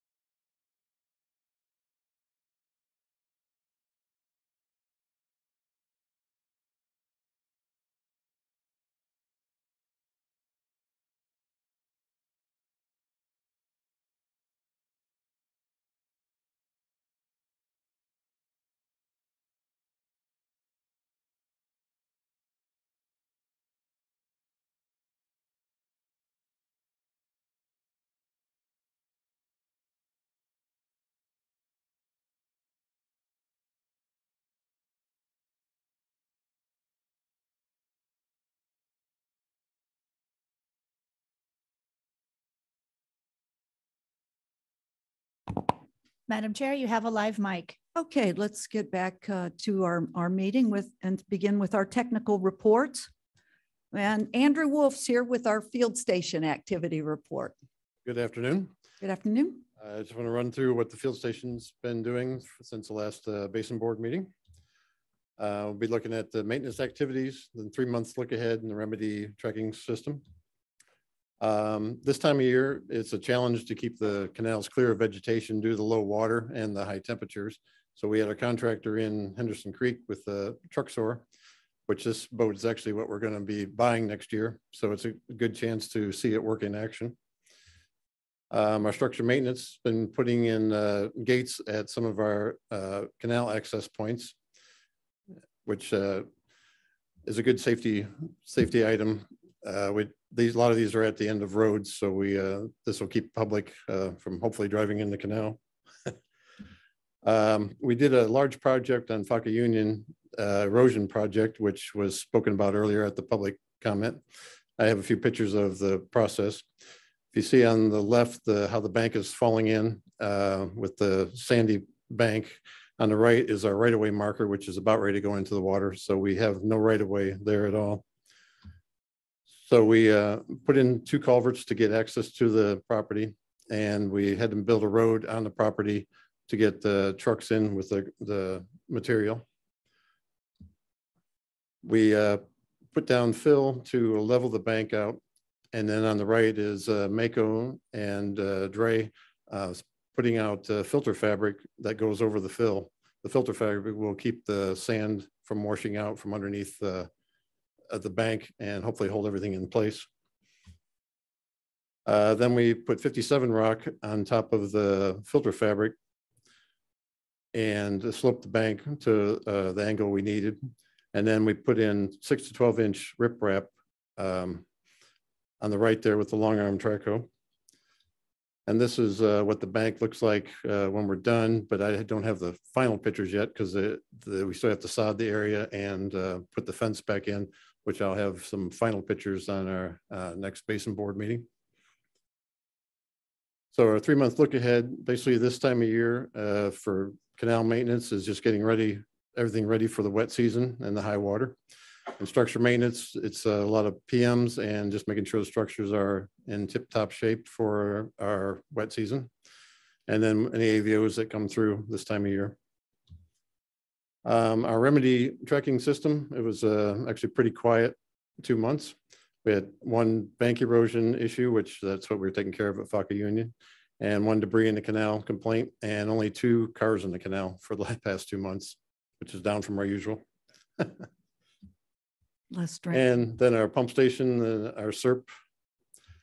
Um, again, this is the time of year we do preventive maintenance and make sure the pump stations are ready for the high water and the wet season. Um, at Merritt, we're, we've uh, totally disassembled one pump and we're replacing the pump shaft there, which took about two weeks to pull out. And we discovered there was some damage to the diffuser in the pump. So that's now up at a metal shop in uh, Tampa, getting repaired. We should have it back by the first of June and hopefully be operational within two weeks uh, after that. But all the other pumps are, are ready to go. So we're, we're set fine for wet season. Um, a three month look ahead is just respond to AVOs, uh, preventive maintenance, ensuring everything's ready for wet season, and then finishing uh, installing the pump at uh, or the pump shaft and assembling the pump at Merritt. We're also going to clear the vegetation at the Faka Union spreader basin, which will help the flow on the discharge side of the pump station. And other than that, any questions? Are there board questions for Mr. Wolf? No, for me. No, not for me.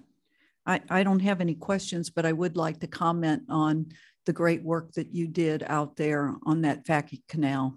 I mean, you saw that the residents came today uh, that's the ut, utmost praise that you can you can have for the work you're doing and not only serving the mission of the district but you and your field station folks actually serving members of the public as well and the team's very proud of that that turned out very well and and it was you that part, worked re- very very well with Lisa Koehler and the basin staff in coming up with solutions and alternatives so uh, uh, thank you very much for that. I appreciate that. Thank you. Appreciate it. Uh, it- There you go. Um, Aaron, do we have any public comment on this? I have no public comment. Okay, great. Water conditions report, Mr. Brad Jackson.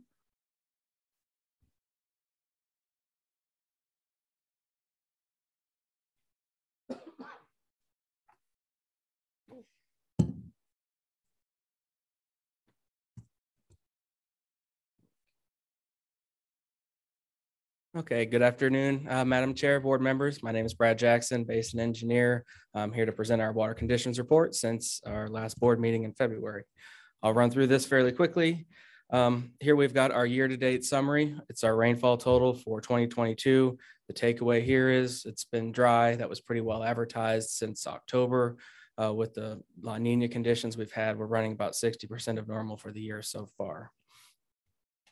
So to go through this uh, month by month, here's our March totals. Um, like I mentioned, it was below average.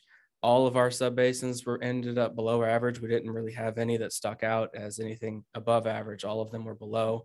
We're- there were a couple areas over here by um, northern Fakahatchee that did get some beneficial rainfall, but overall it was very dry. Uh, fast forward to April, uh, so far we're below average. We may not end the month that way. Uh, there's some change in the forecast coming up. I'll mention that at the end. Uh, but here, basically, the takeaway is we had a very wet area, uh, a stalled thunderstorm that ended up on their Picayune and Fakahatchee down here towards the southern part of the system. It was all natural areas that got about five inches of rain in one evening. So a couple hours, and that's how much rain we got. That's even unordinary for wet season. Uh, so it's unusual. It hasn't happened in quite some time, according to our district meteorologist. So I thought it was important to to highlight that briefly. And then looking at our water year, this is our last month of the um, 2022 water year. Just some key notes here. Um, overall, for the year, it's pretty much average, maybe slightly below. Our wet season was above average slightly, um, but the main takeaway here is the uh, surplus we had during the wet season is pretty much all used up and then some with our dry season. We've had five months of significantly below average rainfall, 50% of average since December, and really even November was below average as well. That 3.8 inches fell in the first couple weeks. So it's been quite some time since we've had measurable rainfall um, and with a four, four and a half inch deficit so far. So with half of the amount of water that we should have for this time of year, how is our water level doing in our canal systems? Overall, we're doing better than you would think, considering we've had half the amount of rainfall. Um, our levels are near average for the most part. Um, the takeaway here on the, the right-hand side, you see a lot of blacks and blues and Picayune Strand, State Road 29. Those are the areas that receive the heavy rainfall. So those are above average for this time of year. The heart of the system, Golden Gate, Main, Cocohatchee, all pretty much near average conditions for um, late April. We do have a couple outliers here. GG1, Airport Road, you probably noticed that driving around town. Those levels are lower than normal, um, but they've pretty much stopped receding at this point. I don't expect them to get any lower.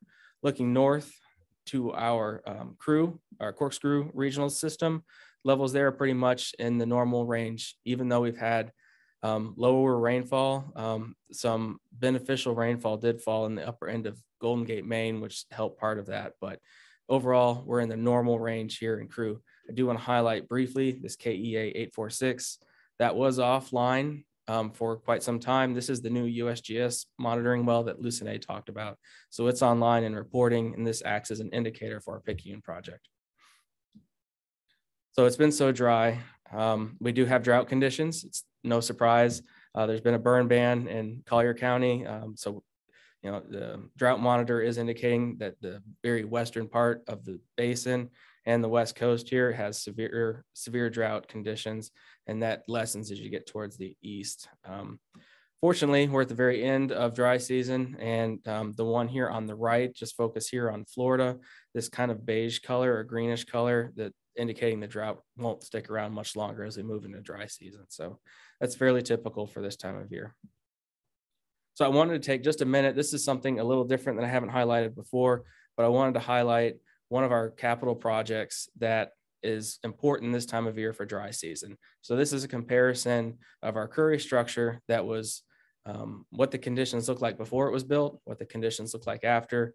And I want you to remember both of these comparisons, we had similar rainfall conditions. So we had below average rainfall. So to orient everyone, we're up here on the north side of the basin near um, uh, our Corkscrew Canal, near our Bird Rookery area. This is uh, the structure is just south of Immokalee Road. So here's some pictures. This is pre-construction. Uh, right here where I'm circling, is that's where the new structure will be built um, or was built, but this was beforehand. It's interesting. The canal is completely bone dry. Um, and we had similar rainfall conditions as we do this year. Want to make sure we were comparing apples to apples, looking at two dry years. Um, then we want to move north a little bit here to Corkscrew. This is Corkscrew Canal. You've got deer in the in the canal bottom there. Um, there, it's completely bone dry, and that's up here at our very headwater area, just south of Bird Rookery in the Crew and Corkscrew Swamp area that we're trying to make sure we don't have any impacts on. So that's before our structure. Now fast forward after we've built it, reorient you here, the Curry structure again. This is close to the same vantage point. It's a little tricky to get the same shot from the helicopter, but it's close. Um, so we've got Immokalee Road. Here is the new Curry structure. And the takeaway here, you can see water inside the canal. Um, and remember, the water is not just in the canal, it's actually the surficial groundwater level. So it expands everywhere throughout the region, not just inside the canal. So we also flew up towards the north a little bit, Corkscrew Canal. Um, this is up here where I've circled the um, kind of yellowish area by Cork 3 near Bird Rookery where the trail area are. Um, you've got water in the canal there. So it's a vast contrast from the, the deer sitting in the bottom of the canal. Um, to give that a little bit more context, I mentioned that it's spread out everywhere. Um, just to orient you here quickly, the Curry structure here is where the arrow is pointing down here, and this kind of blue area, um, and then the red bullseye, that's the area of benefit where we see increased groundwater levels from our model. So this was before we built anything. This is what our models told us would happen. We've seen the results of it in the field after we built it. So it's validating what we saw in the model. And this is really how much benefit we've seen from that, uh, that structure. And this is just one example of one capital project. And um, this structure has remote operability. It lets us really uh, refine that water level to, to such a tight range. That is so exciting. I, I just have to jump in. That is just so terrific. And the way that you've presented that to the board, Brad, is just off the charts good. Okay. So thank you for that. Uh, so that kind of closes that little part of it. I'll run through. These are our typical slides. We'll stair step through the system here quickly. These are the tr historical trends for each of the areas. This is Golden Gate 4 on the top, Golden Gate 1 on the bottom. Um, the green band is our normal range, and you can see GG1 down here is very low for this time of year. But as we're approaching wet season, we want to be in this blue band as we hit wet season. So we're not too far off from where we want to be. These won't be low for, for very long. Moving north here, Coco, uh, Cocohatchee Canal, we've got Coco 1 and 2. These are in good shape as well, near the average conditions uh, for both of these. Depending on when wet season hits, we'll see this line start to reverse and then come towards here, toward the normal operational range. And this blue band here is the same band that Akin had shown on his slides earlier as well. Moving east towards Faka Union, um, towards the set, towards the bottom here, this is Faka Union one. It was running along the lower levels. And then I mentioned that large rainfall event just spiked up the uh, um, water table there two to two and a half feet in overnight is how quickly that rose up. Um, not just here at Faka Union, but all of the groundwater and Picayune Strand as well. Um, Faka Union 5, you're seeing us trend down towards the 50th percentile, but we're in good uh, track to reach the wet season operational level by uh, mid-May. Flip over to Henderson Creek. There's not a whole lot to say here other than we're in good, good shape and in normal conditions and we'll see those levels start to rebound after the, the rainy season begins. Moving up to uh, Picayune Strand, I'll spend a second here. Um, so the, you can see the rainfall event. These are these two spikes um, in both of these lines here, the purple line and then the blue line over here. That's that four to five inch rainfall that we had. It fell more on Faka Union, but it jumped it up to where we've never seen levels before this time of year. That's due to the canal being plugged. Um, it's holding that water inside the system, inside the inside your groundwater and on the surface. Um, and then just to compare and contrast, um, the bottom pictures here, this is the Faka Union restoration flows from August. Um, the helicopter flight there, you can see the sheet flow happening. Uh, we just did our hurricane pre-hurricane inspections uh, a week or so ago. This is what it looked like um, a couple weeks ago. So while there's no sheet flow, there's still water in these pools, and these pools are full, indicating the groundwater is higher than it's historically been. So it's a good takeaway there. Um, it is dry season, it's water conservation month, and so we wanted to, to brief talk briefly about water level. I'm sorry, groundwater level conditions. Um, overall, for Collier County, um, as you saw earlier, most of our wells and our uh, potable water supply comes from the Tamiami and surf surface water. So our levels here are pretty much in the green, and you can see that here on the right. Um, these green squares indicate that the water levels are normal for this time of year. There's a couple outliers here. Um, over here near Coco 1, near uh, Cocohatchee outfall, um, it's trending near the bottom of the level there.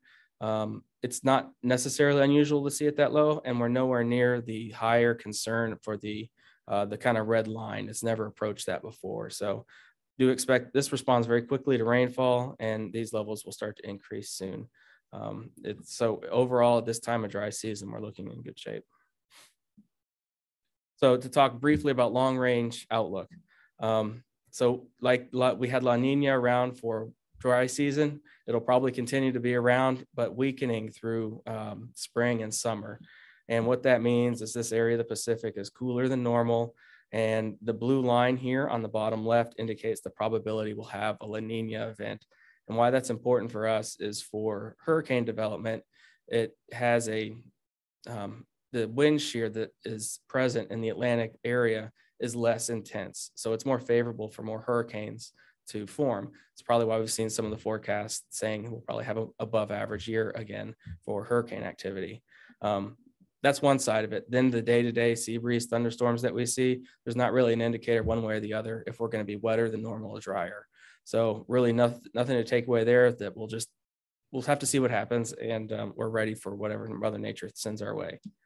In the short term, I promise to change and forecast. I know we all need some rainfall, uh, definitely. So there's a front moving through. This isn't wet season yet. It's a frontal system that's coming through, but we are going to have a wet period over the next week, which is um, direly needed, uh, especially in the coastal areas for us. And I'll close there and ask if there's any questions. Are there any board questions for Brad? Uh, oh, I'm sorry. Go ahead. Go ahead. Just to, to echo what you said uh, a moment ago, I thank you for the the pictures of the uh, Curry Canal and, and showing the difference. It, um, you know, we know these things work, but it is valuable to actually see it in action and see the result of it. So thank you. And, and I thought the way that was presented was great. Thanks. Brad definitely took on that challenge from our last meeting. Uh, yes. And really, you did an outstanding job, and the the the deer were a little bit extra, which which was, was, a bonus. Yeah, yeah, it was a bonus.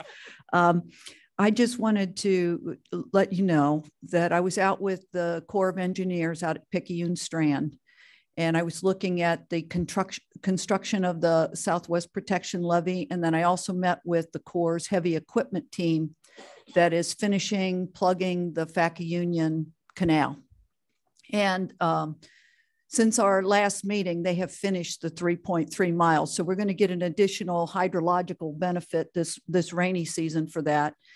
And their, their job or their guidance and direction is to keep going with preparing to plug uh, when it be, when the southern end of the Southwest Protection Levee uh, comes up enough in height where we can actually turn that pump on on full force. So, so I'm still working with the Corps of Engineers on that, but we should see a, a greater benefit this rainy season now that more of that canal is plugged. So um, I, I'm excited about that. And I appreciate the effort that you put in the briefing today, Brad. Thank you. Thank you. Okay, that brings us to the Basin Administrator's Report with Lisa Koehler. Thank you. I'm going to try to keep this short. Uh, with the time. We've had a very technically dense meeting today uh, and appreciate all of your participation in, in this. Um, on the agenda, I had indicated that I was going to be talking about the agreement uh, with Collier County regarding our tower, but I'd like to push that off to the next meeting. Um, I haven't pushed that particular uh, task forward and I don't have the update that I was anticipating having for you today. So I'll have something for you uh, more concrete in July. But before we do go forward to Candy's report, um, a couple of things I want to touch on. And it, again, to talk about the Faka Union Canal um, and the Radners coming and, and, and showing their appreciation. Um, Andrew's team was phenomenal, but it also, I want to um, pass along kudos and thanks to Brad and Lucine. Um, so yeah, the, the nurse had come and talked to me and all I did is walk back to Brad's office afterwards and said, Hey, what do you think? and he really took the ball and worked with Lucine and there was people on Lucine's team that was involved. Th- this was a huge effort by a lot of folks. Um, and we're just happy that we could make that happen for them. Um, also, as we've been talking about, we're in dry season.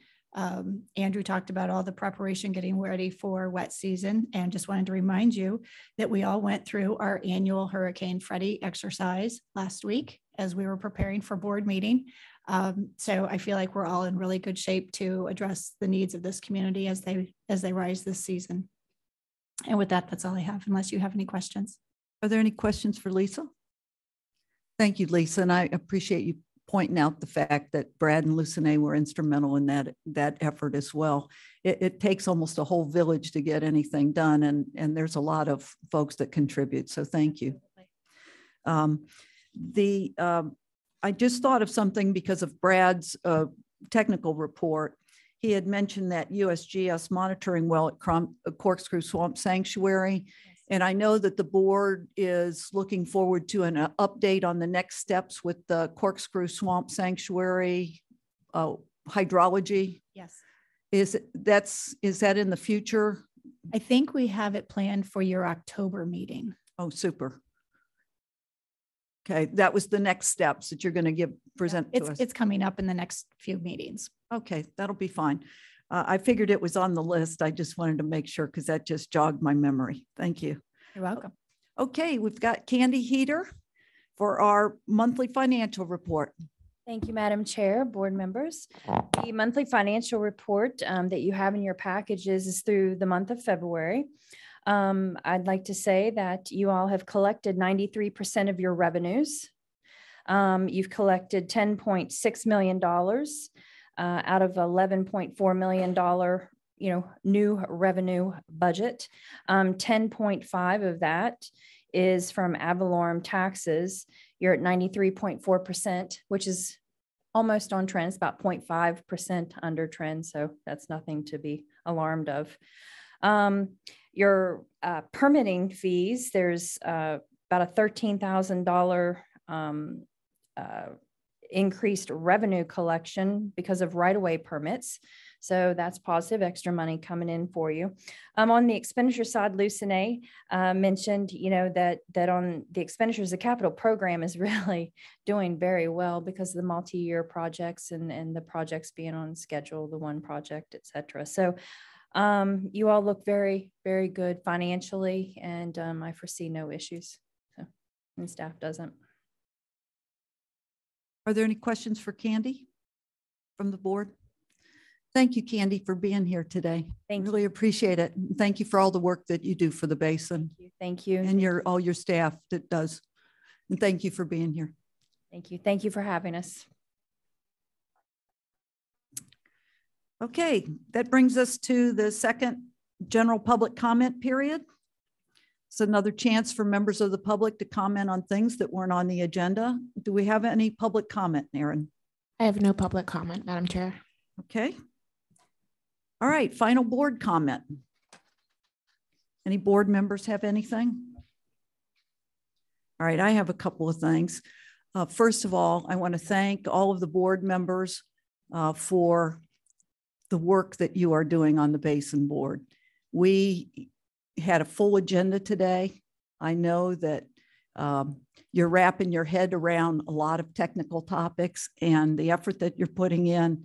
And the focus and the dedication needs to be recognized. And so I, I, I want to say thank you for that because it, it doesn't happen by, as we just discussed, by one person alone. So, so thank you for all of your effort and uh, contributions to the discussion today. Also, I want to thank the district staff. I mean, talk about a support team.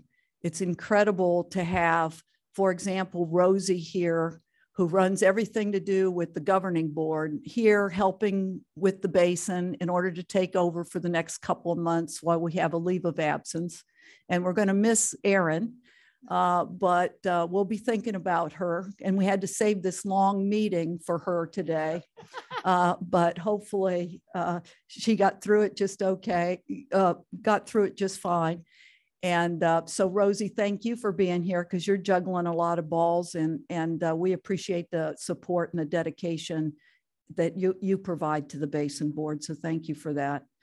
Um, I, would be remiss if I didn't uh, thank all of the members of the district staff from headquarters that were here today. The room was full and many of the presentations were from, from folks that are, are leading efforts such as Akin with this pumping to the Collier County through the Logan um, spillway there. And, and so all of you deserve a big thank you for the outstanding support that you're providing uh, to the Basin Board.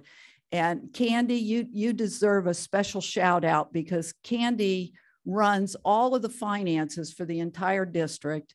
And I gave her a pass today to participate by Zoom. And she decided that she wanted to be here anyway and she came here and she's probably regretting it now. But um, really in truthfulness candy you and you and your team do such a tremendous job and i think it's it's julie that's that's here uh, with you today and thank you for everything that you contribute and the IT staff and everybody. So it goes without saying that the district staff is a, key part of the basin uh, being able to do what it does. And finally, I'd like to thank the basin staff. I mean, they're they're normally at seven, right? And they've got four and now probably three for a while. So I mean, this is this is just great stuff. And you are so technically and professional, uh, professionally capable that you're you can juggle all the balls and under your leadership lisa it's it's been working so smoothly and everything and i, I want to thank you for all the tremendous support that, that you've provided and the fact that derek has been quiet means that we've been doing our jobs well so so thank you derek he, he's our attorney and i i appreciate that so with that, I want to thank everyone for being here today. Our next meeting is going to be July 8th at 1.30. And with that, we're adjourned. Thank you.